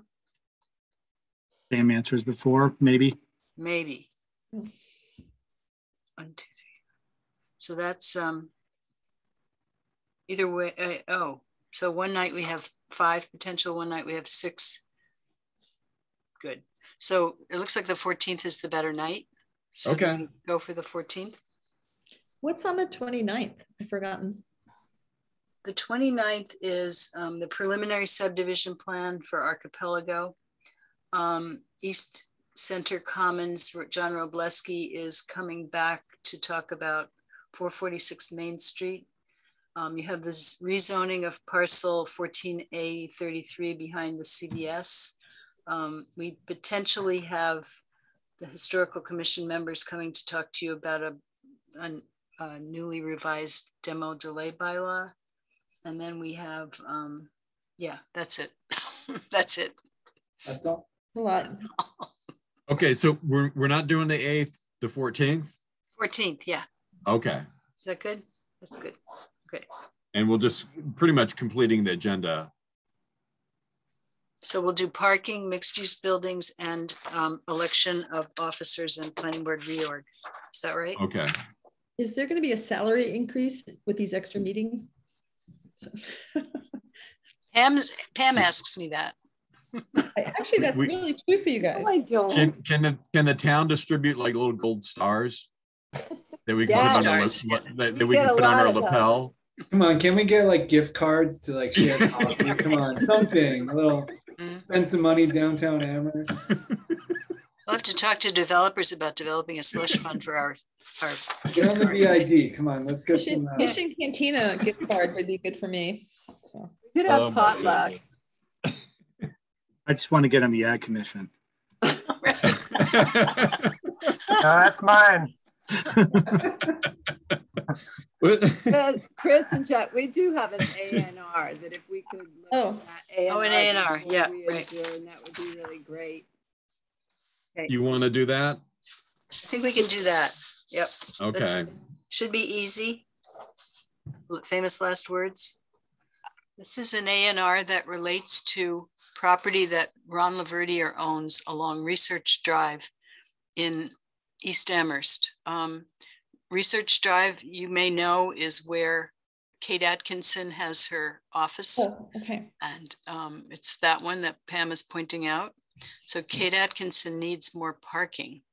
And she has made arrangements with the fellow who owns parking um, or owns a lot near Old Belchertown Road. She's purchasing this lot number two from him. And in order to connect the two lots, she would like to purchase a one foot wide strip of land owned by Ron Laverdiere. And that's what this A&R is about. Um, uh, connecting Kate Atkinson's two parcels with this one foot strip. So if you would um, agree that this is not something that requires subdivision uh, approval, then we can get uh, Jack to sign it. How does the one foot help? Yeah. It connects the two properties. So it's so sort of like it'd be it, like a hammerhead sort of makes it easier to um, to uh, say that the parking that's going to be proposed on lot two is associated with the building that is um, where Kate Atkinson has her practice. So you can combine those two lots into one. Does she have the parcel to the right as well? To the right has a house on it. You mean lot one? No, I mean, I mean, you, you your cursor has been on the one that is kind of in the middle of those three. And what about the one to the right? The one to the right um, is Camel- former Camel. Lee, Camel Lee or where something? it says Carex. See there, there you go. Okay, does she Carex LLC. Yeah. does she own that? No, that's owned by Mickey Mark, or used to be owned by Mickey Marcus. Um, SWCA, I think, is the owner now. So, They're- so her connection will be through that one foot strip that goes along the bottom of Carrick's? Yes, and Rob Mora um, goes along with this. He agrees that that one foot strip will connect those two properties. Wow. So she actually owns, so her place, Dragonfly Health, owns that shaded area that's called Research Drive, and people have a right to pass and repass over that easement. So she actually owns all the way to the one foot strip. And then she will own the one foot strip that's to this uh, east side of the Carrick's property where um, Mickey Marcus used to be. And then she will own the one foot strip associated with lot two. So they will all be connected by that uh, little one foot strip. It's sort of a magic of um, A&R, uh, what, what an A&R can accomplish. Could could you just build a parking lot there and just use it? What what actually stops her from just doing that without the one? I mean, on strip? lot two, Yeah, like why can't you just because it needs to be associated with a use. Otherwise, it becomes um, something that's probably a, um, it would it would probably become something other than what we're proposing it to be. We're proposing it to be a parking lot that's associated with the use of the Dragonfly Health building. And if it were completely separate, then it would have to be shared parking, leased parking, um, commercial parking, or something other than parking that's an accessory to her building. And by the way, this is being done under Article 14, which is sort of an emergency. Uh, it was our temporary zoning that was passed um, last November. So there was a provision in there to allow medical uses to um, expand or change. So do you agree that Jack can sign this? Essentially what you're saying is it doesn't have to go through subdivision, uh, the subdivision process. Yeah, I, I just like full disclosure of people. I have worked on Research Drive with uh, over the last 20 years with three different companies. Um, feel like I don't understand enough to say yes or no, so I would just defer to the group. yeah, I mean, I don't see any objection. If anyone speak, I don't. So I don't Johanna has her so. hand up. Johanna, I mean, it it seems fine. It doesn't seem like it should go through subdivision review. It's one foot. Rob Mora signed off on it. Like, does it feel a little hokey or you know, yeah, bizarre. bizarre- a little bizarre, but um, Seriously. um, but I I think it's fine if you sign it, Jack. Personally, As long as Rob says it's good, I'm good with it. Mhm. Okay. So we'll be calling on you to sign this. I, I can either drive down to your house or you can come up here, one or the other. I'd love to get on my house and come visit you. It's a big thrill. Okay. All right, Uh, good. That's it then. All right, so we can, uh, again, continue the agenda, the portion of the agenda to the 14th, Tuesday, um, and adjourn now. So, Adjourn at nine thirty-nine, is that right? yeah. Thank you, Jack. I really appreciate that. Yeah, well, safe travels, Janet, wherever you go Thank on. you. I'm going to the Jack- Quad Cities. Quad Cities. You don't know where that I- is? Iowa? Yeah, yeah, Wow. yeah. Like What people if I said, Jack, what if I said I had a trip every Thursday morning? every other Thursday morning? Could we cap I would say be safe, Andrew.